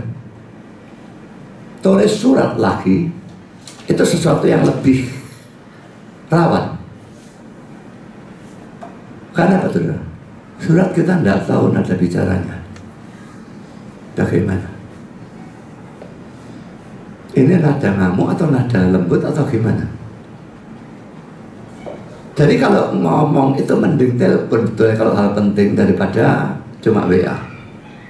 Karena WA tidak kelihatan. Kalau memang penting urusan sesuatu yang tidak mau disalahpahami, mending telepon atau ketemu. Tapi kalau nggak bisa ketemu, telepon. Lebih jelas daripada WA. WA ini sama alas ketiknya, diri singkat-singkat, nggak jelas, tambah salah paham. Akhirnya jadi kacau kalau bisa gegeran rame hanya karena salah paham. Hati-hati karena itu dalam WA dan sebagainya. Mengapa saya tidak mau tanya jawab melalui WA? Saya tidak mau saudara. Orang nanti jadi salah paham. Yang tak ajar benar jadi salah. Karena WA, saya WA pakai HP. Kadang-kadang tok saya WA pakai komputer. Tapi kalau Facebook, saya pakai komputer. Saya tidak pernah pakai HP. Jadi orang tanya email barang. Sekarang email juga saya kebanyakan pakai HP. Tanya on the Facebook. Nah email timbang tak jawab cepat-cepat nanti jadi salah. Kak, tanya oleh Facebook. Semua tanya Facebook. HP, tak mau.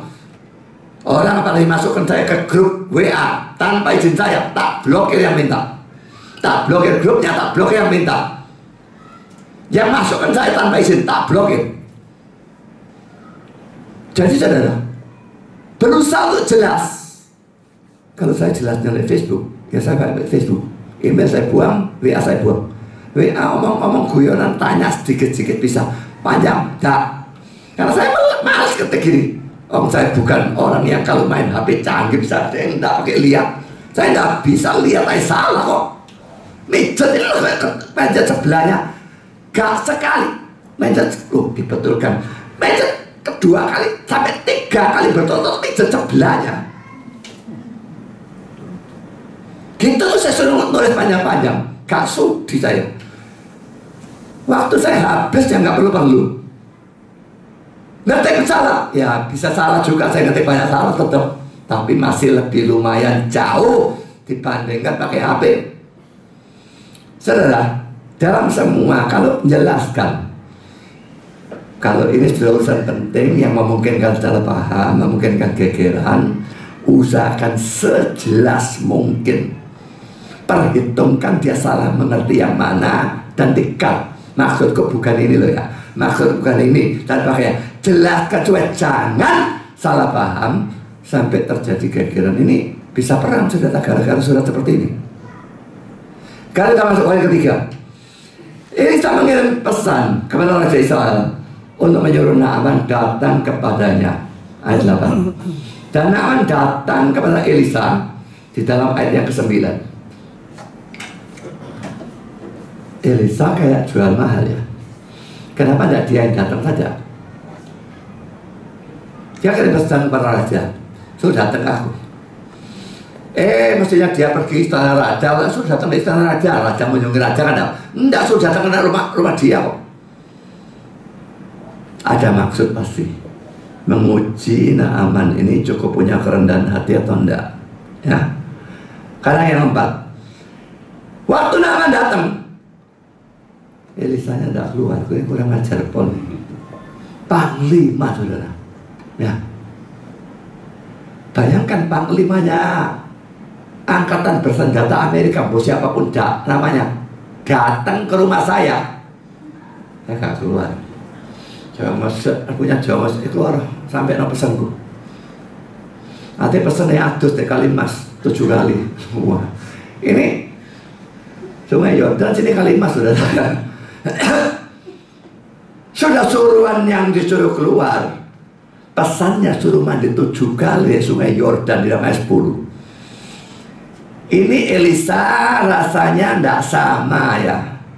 Beda frontal ini bertentangan frontal dengan mayoritas hamba Tuhan zaman sekarang yang datang sudah panglima dari negara yang hebat bawa persembahan besar sekali. Ini kalau dianggap pakai HR wih HR miliaran ini. Kalau hamba Tuhan zaman sekarang keluarnya berangkang saudara. Ya lalu pai-pai dulu ya. Aduh mari masuk mari masuk mari masuk. Buku-buku sampai kepalanya bentur lantai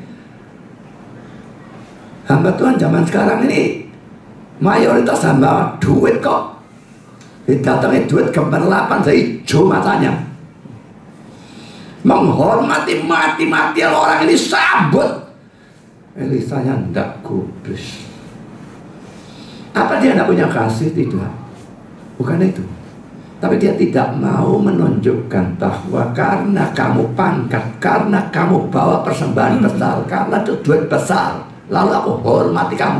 Dia tidak mau timbul kesan seperti itu. Jadi dia suruh pelari keluar dan sampaikan pesannya. Mari kita lihat komentar dari komentar. Elisa menyatakan kewibawaan dari jabatannya. Dan perhatikan kata-kata yang sudah ya. Banyak pendeta menghancurkan kewibawaan jabatannya. Orang rendahkan jabatan pendeta itu. Gara-gara terlalu banyak pendeta mata duitan. Sama orang miskin sikapnya buruk. Sama orang kaya mantuk-mantuk setengah mati.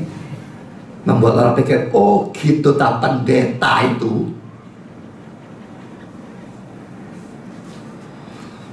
Saudara, dia dengan caranya menyatakan kewibawaan jabatannya. Harus hati-hati dengan semua apa yang kita lakukan. Jangan sampai jabatannya dihina orang karena kesalahan kita. Namun adalah orang terpandang. Ayat satu. Yang sangat menyadari pentingnya dirinya dan menganggap sang nabi sebagai jauh lebih rendah dari dirinya sendiri. Itu penting. Banyak saudara begitu. Orang kaya sering ngaku, oh aku tuh gede. Ndek perusahaanku aku bos. Pendeta itu bawa aku. Saya tidak mau diperlakukan seperti itu. Mani perang. Ini bukan urusan gengsi. Urusan menjaga kewibawaan pendeta. Jangan sampai orang kaya bisa anggap aku bosnya kamu jongosku. Aku bukan jongosmu, mbahmu dah. Aku jongosnya Tuhan. Aku mau melayani kamu karena aku melayani Tuhan. Tapi aku betul-betul melayani kamu dan kamu yang jadi bos, bukan Tuhan. Hanya karena kamu punya duit, go to hell. Enak sudi blast. Saya lanjutkan saudara. Ia mengharapkan untuk dilayani ya tentang aman ya dihormati dijilat tentu bukan betul-betul jilatnya untuk menerima perhatian yang sebesar-besarnya Cuma ada dua makhluk yang senang kalau eh, yang saya senang kalau makhluk itu jilati saya. Maksi sama Mini. Senang saya dijilati sama mereka karena menunjukkan kasih mereka naik bangku jilati. Tapi kalau orang menjilat, saya benci sudah. Herannya ada banyak hamba Tuhan yang senang dijilat sama bawahan-bawahan gembala senang dijilat sama pendeta-pendeta kucuan sama jemaat-jemaat senang. Saya benci muakpol dengan orang yang jilat. Dulu pernah kan? Beda yang dulu saya kira. Punya ya mahasiswa praktek yang jilatnya setengah mati. Udah muntah saya. Dan saya langsung merasa ini jilat habis-habisan khotbah saya dipuji setinggi langit pada pada waktu saya khotbah saya lihat dia tidak bisa dengar kok tapi dia puji setinggi langit. Dia pikir saya goblok tuh gimana? Dia mengharap untuk dilayani, dihormati, dijilat untuk menerima perhatian yang sebesar-besarnya. Tidak diragukan lagi bahwa Elisa bermaksud menegurnya dengan sangat tajam dengan tetap tinggal dalam rumahnya dan berbicara dengan orang gede itu melalui utusannya. Ia memberikan kesan kepada bangsawan Arab itu kenihilan dari kekayaan dan kemegahan duniawi. Semua itu nihil. Kekayaan, kemegahan dunia, nihil. Dan kewibawaan dari jabatan Nabi itu ditinggikan. Uang pangkat direndahkan, jabatan Nabi ditinggikan. Itu tujuannya Elisa. Maka hendak keluar dan sebagainya. Suruh suruh yang keluar. Sekarang sudah reaksi Naaman bagaimana? Sebetulnya sudah bisa diprediksi ya yang kelima, Naaman ngamuk pergi dengan marah ayat 11 dan 12. Mengapa? Pertama saudara poin A, alasannya marah ya. Ayat 11, aku sangka tahu tahu kalimat tadi, wah dia keluar tahu doa panggil Allahnya tahu tangannya gerak-gerakan di atas mungkin penyakit kustanya ini di tempat tertentu belum merantak sak badan ya jadi tempat tertentu akan begitu doakan dia memperkirakan sendiri apa yang Elisa bakal lakukan untuk menyembuhkan dia. Dan pada waktu apa yang dilakukan Elisa sama sekali berbeda dengan perkiraannya, dia menjadi marah. Saudara berarti dia mau mendikte Elisa ya. Banyak orang kepengen dikte hamba Tuhan. Dan gobloknya banyak hamba Tuhan mau didikte orang yang gak becus apa-apa.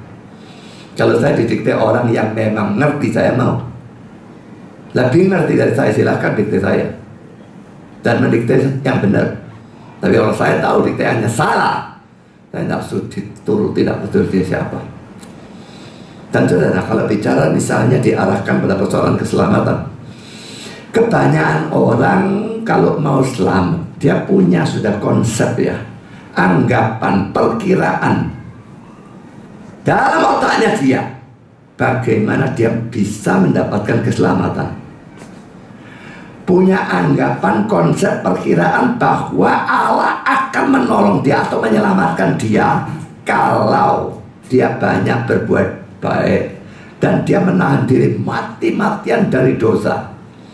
Seperti pemuda kaya pada waktu datang pada Yesus bilang apa? Guru yang baik, apa yang harus aku lakukan, apa yang harus aku perbuat untuk mendapatkan hidup yang kekal?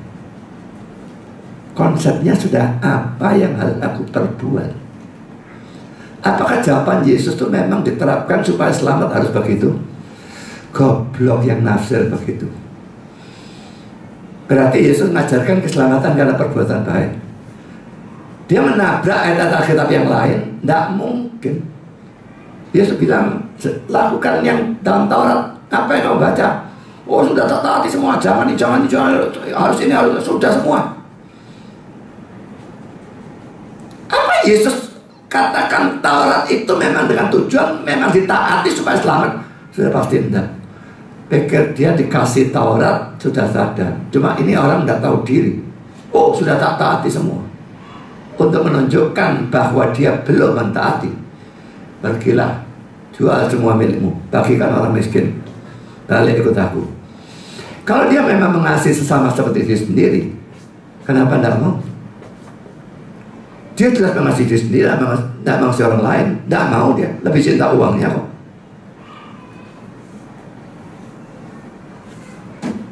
Jadi di situ dia sadar dia tidak bisa. Tapi disuruh Yesus seperti dia tidak mau juga. Andai kata dia mau dan ikut Yesus, dia akan dengar Injil yang sebenarnya dan percaya dan diselamatkan. Dia tidak mau dia pergi.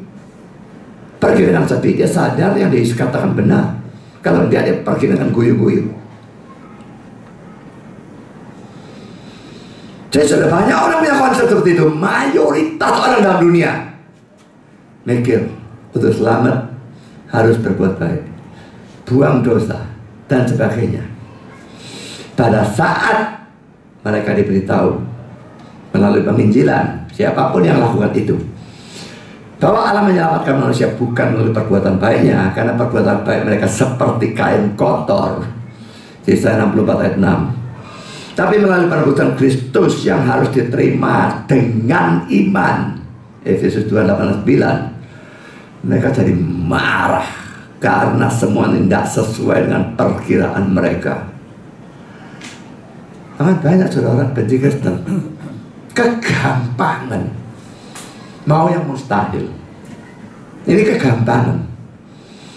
Saudara, kalau saudara punya pikiran bahwa selamat itu karena berbuat baik dan sebagainya dan menolak yang Tuhan tawarkan gratis melalui penebusan Kristus melalui iman maka pikirkan ayat ini saudara Yesaya 55 ayat 8 9 Sebab rancanganku bukanlah rancanganmu Dan jalanmu bukanlah jalanku demikianlah firman Tuhan.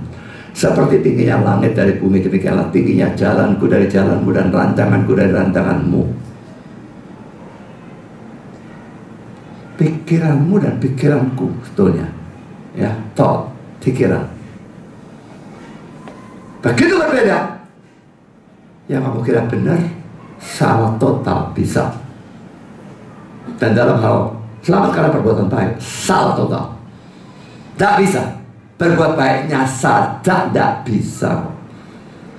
Mana bisa selamat karena perbuatan baik. Kalaupun bisa berbuat baik, tidak bisa perbuatan baik menutup dosa. Butuh penebusan Kristus menghapus dosa kita.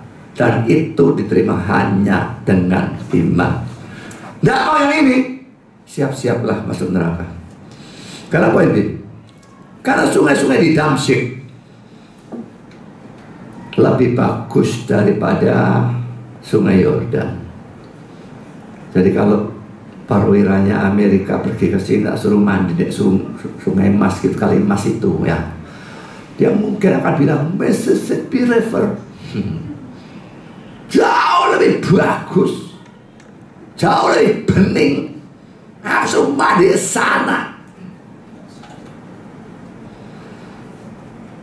Pulpit Commentary mengatakan sungai-sungai Damsyik adalah sungai-sungai yang sangat segar dan indah. Saya tidak tahu ya apakah zaman dulu sama zaman sekarang sama lah. Ini zaman dulu ya. Zaman sekarang Israel dimodernisir mungkin sungai Yordan jadi pasti saya tidak tahu. Ya, tapi zaman dulu memang seperti ini. Yang di Damsyik segar dan indah kita bisa mengerti bahwa Naaman menilai sungai-sungai kotanya sebagai jauh lebih baik daripada sungai Yordan yang keruh yang sering kali mengalir secara pelan dan kadang-kadang berwarna seperti tanah liat. Ini kayak kalimat saudara kayak tanah liat kok. Ya suruh suruh mandi di laut. Nah lautnya kayak pasir putih itu mungkin sih penting ya. Barang lautnya kayak kenjeran atau Tanjung Perak. Bagus saudara pada waktu disuruh mandi di sungai Yordan dia berpikir ada banyak sungai yang lebih baik di negerinya. Dengan kata lain dia berpendapat bahwa ada jalan lain yang lebih masuk akal atau yang kurang menggelikan dibandingkan dengan jalan yang diberikan oleh Elisa. Ini pol menggelikan, gila, gak masuk akal, gak logis, bla. Hal yang sama terjadi dengan banyak orang pada zaman ini.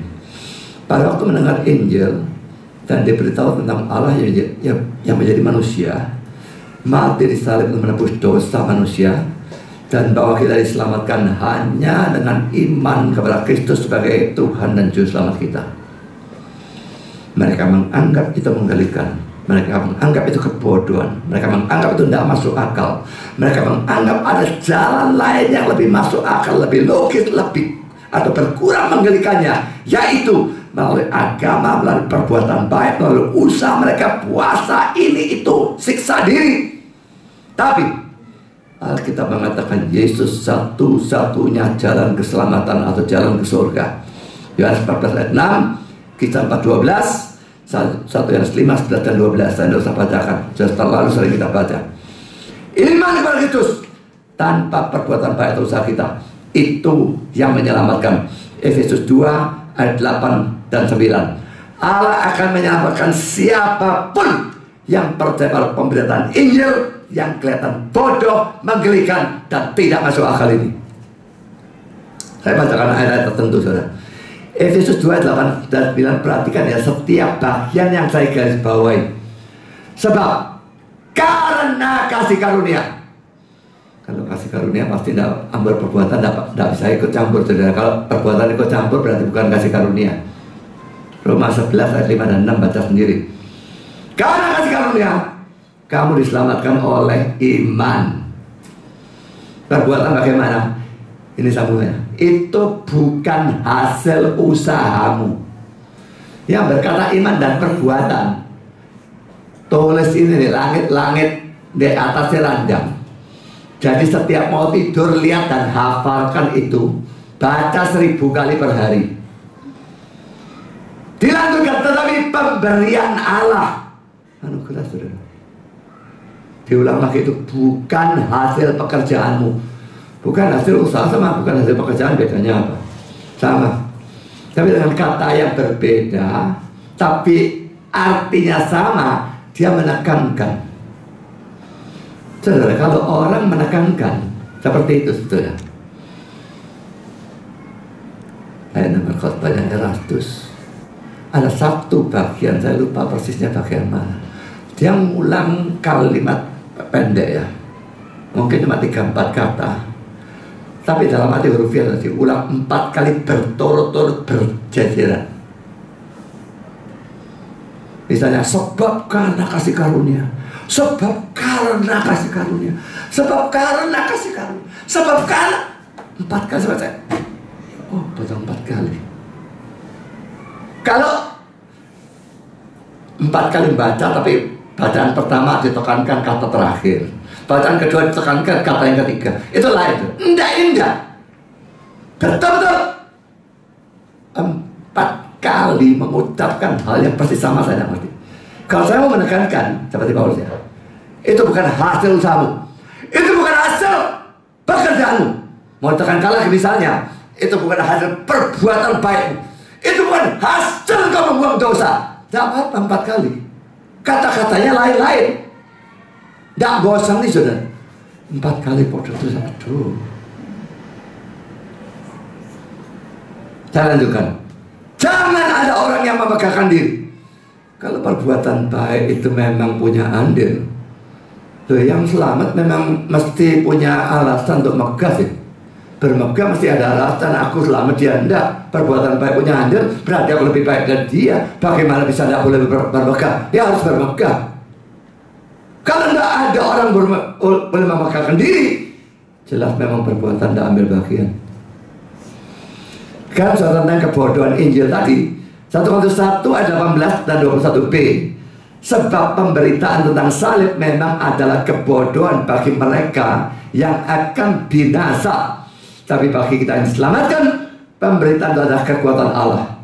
Allah berkenan menyelamatkan mereka yang percaya oleh kebodohan pemberitaan Injil. Yang Injil dan orang yang bodoh, siapa pun saudara adanya saya anggap bodoh. Tidak apa-apa anggap saya percaya. Saya anggap bodoh dan betul-betul tidak percaya. Tunggu neraka menantikan saudara. Saat saudara anggap itu tidak bodoh, tapi sudah terlambat. Siapa pun tidak percaya Kristus, neraka menunggu. Saudara, sekarang kita masuk poin 6, nasihat pegawai Naaman.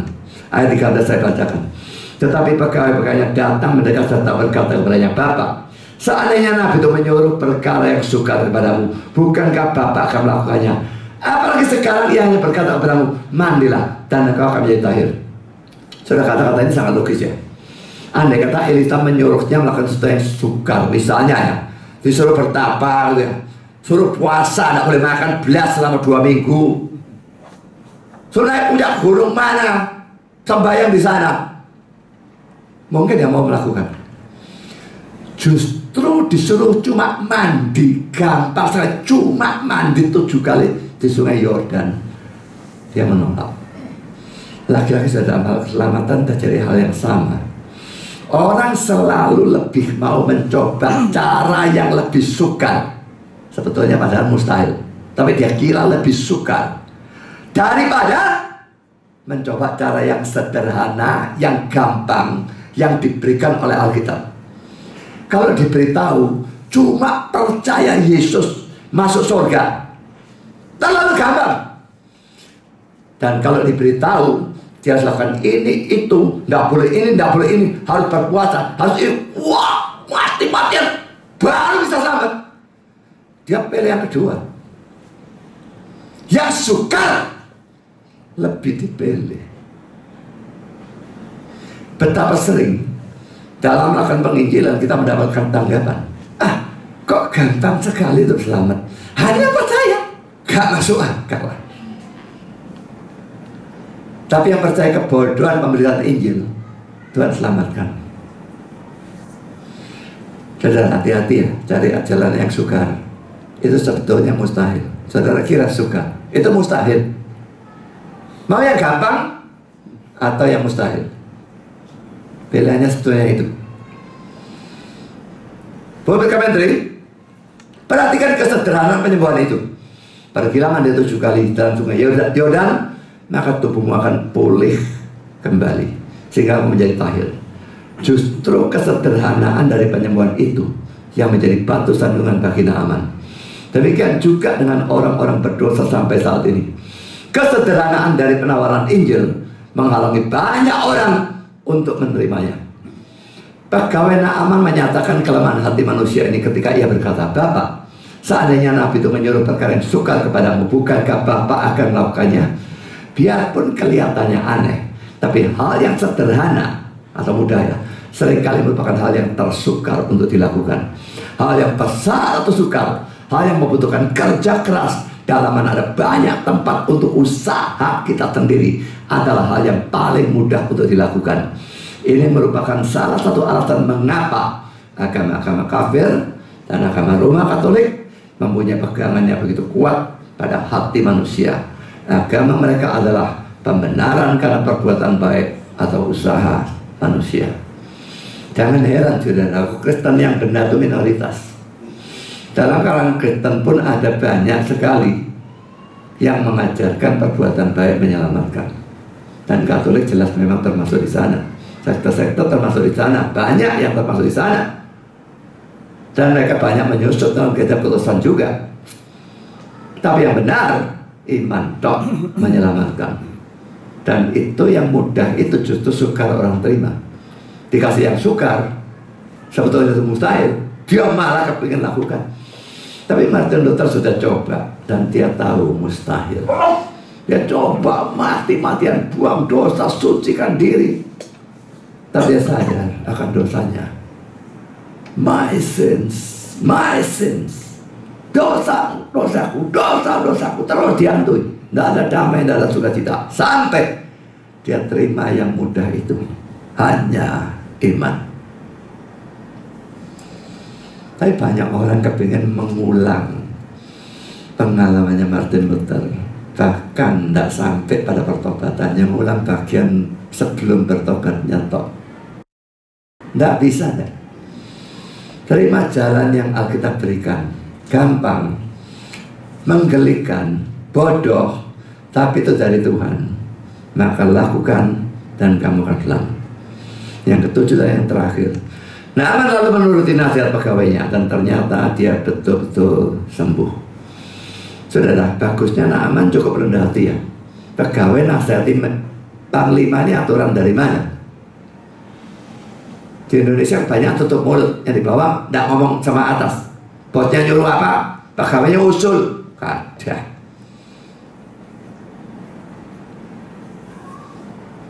Tapi Naaman mau menuruti. Nah ini bagusnya si Naaman. Rendah hati. Jangan selalu mengabaikan nasihat orang yang ada di bawah saudara. Pegawai, pembantu, anak, orang yang pendidikan lebih rendah Bahkan saya pendeta dapat dari jemaat. Tidak harus diabaikan, saudara. Dengar dulu. Saudara, yang paling penting bagi kita harus bisa mendengar orang. Memang begitu dengar kita tahu memang ngomongnya goblok. Ya kalau usah digoblis. Tapi dengar setidaknya. Ada banyak orang dengar pun tidak bisa. Langsung sudah ingin ngomong. Harus bisa dengar. Baru menilai. Nah kalau yang dari kerucut-kerucut saja didengar dan dia taati Lebih-lebih saudara Jangan pernah menolak perintah atau jalan Yang diberikan oleh Tuhan. Ini bersambung pada kalian akan datang. Yang di sini sampai di sini saja. Amin. Mari kita berdoa. Bapak di surga, terima kasih Engkau pimpin serta berkat yang terpanjang acara firman. Dan kami sudah mendengar banyak hal berkenaan dengan keselamatan. Kalau ada orang yang belum selamat, tolong mereka percaya pada berita Injil dan diselamatkan. Tak peduli betapa bodoh, menggelikan, dan tak peduli ada, ada kecenderungan untuk memilih jalan yang sukar, yang sebetulnya mustahil. Tapi di luar sana Tuhan ada banyak orang yang memilih yang mustahil itu. Mengira sukar, mereka lebih memilih itu dan berusaha mati-matian dengan hati yang tulus. Tapi mereka tidak akan pernah bisa diselamatkan. Karena tanpa penebusan semua orang akan masuk neraka. Tolong mereka bisa disadarkan dalam Kristus, percaya dan diselamatkan. Terima kasih Bapak dalam nama Yesus kami berdoa. Amin.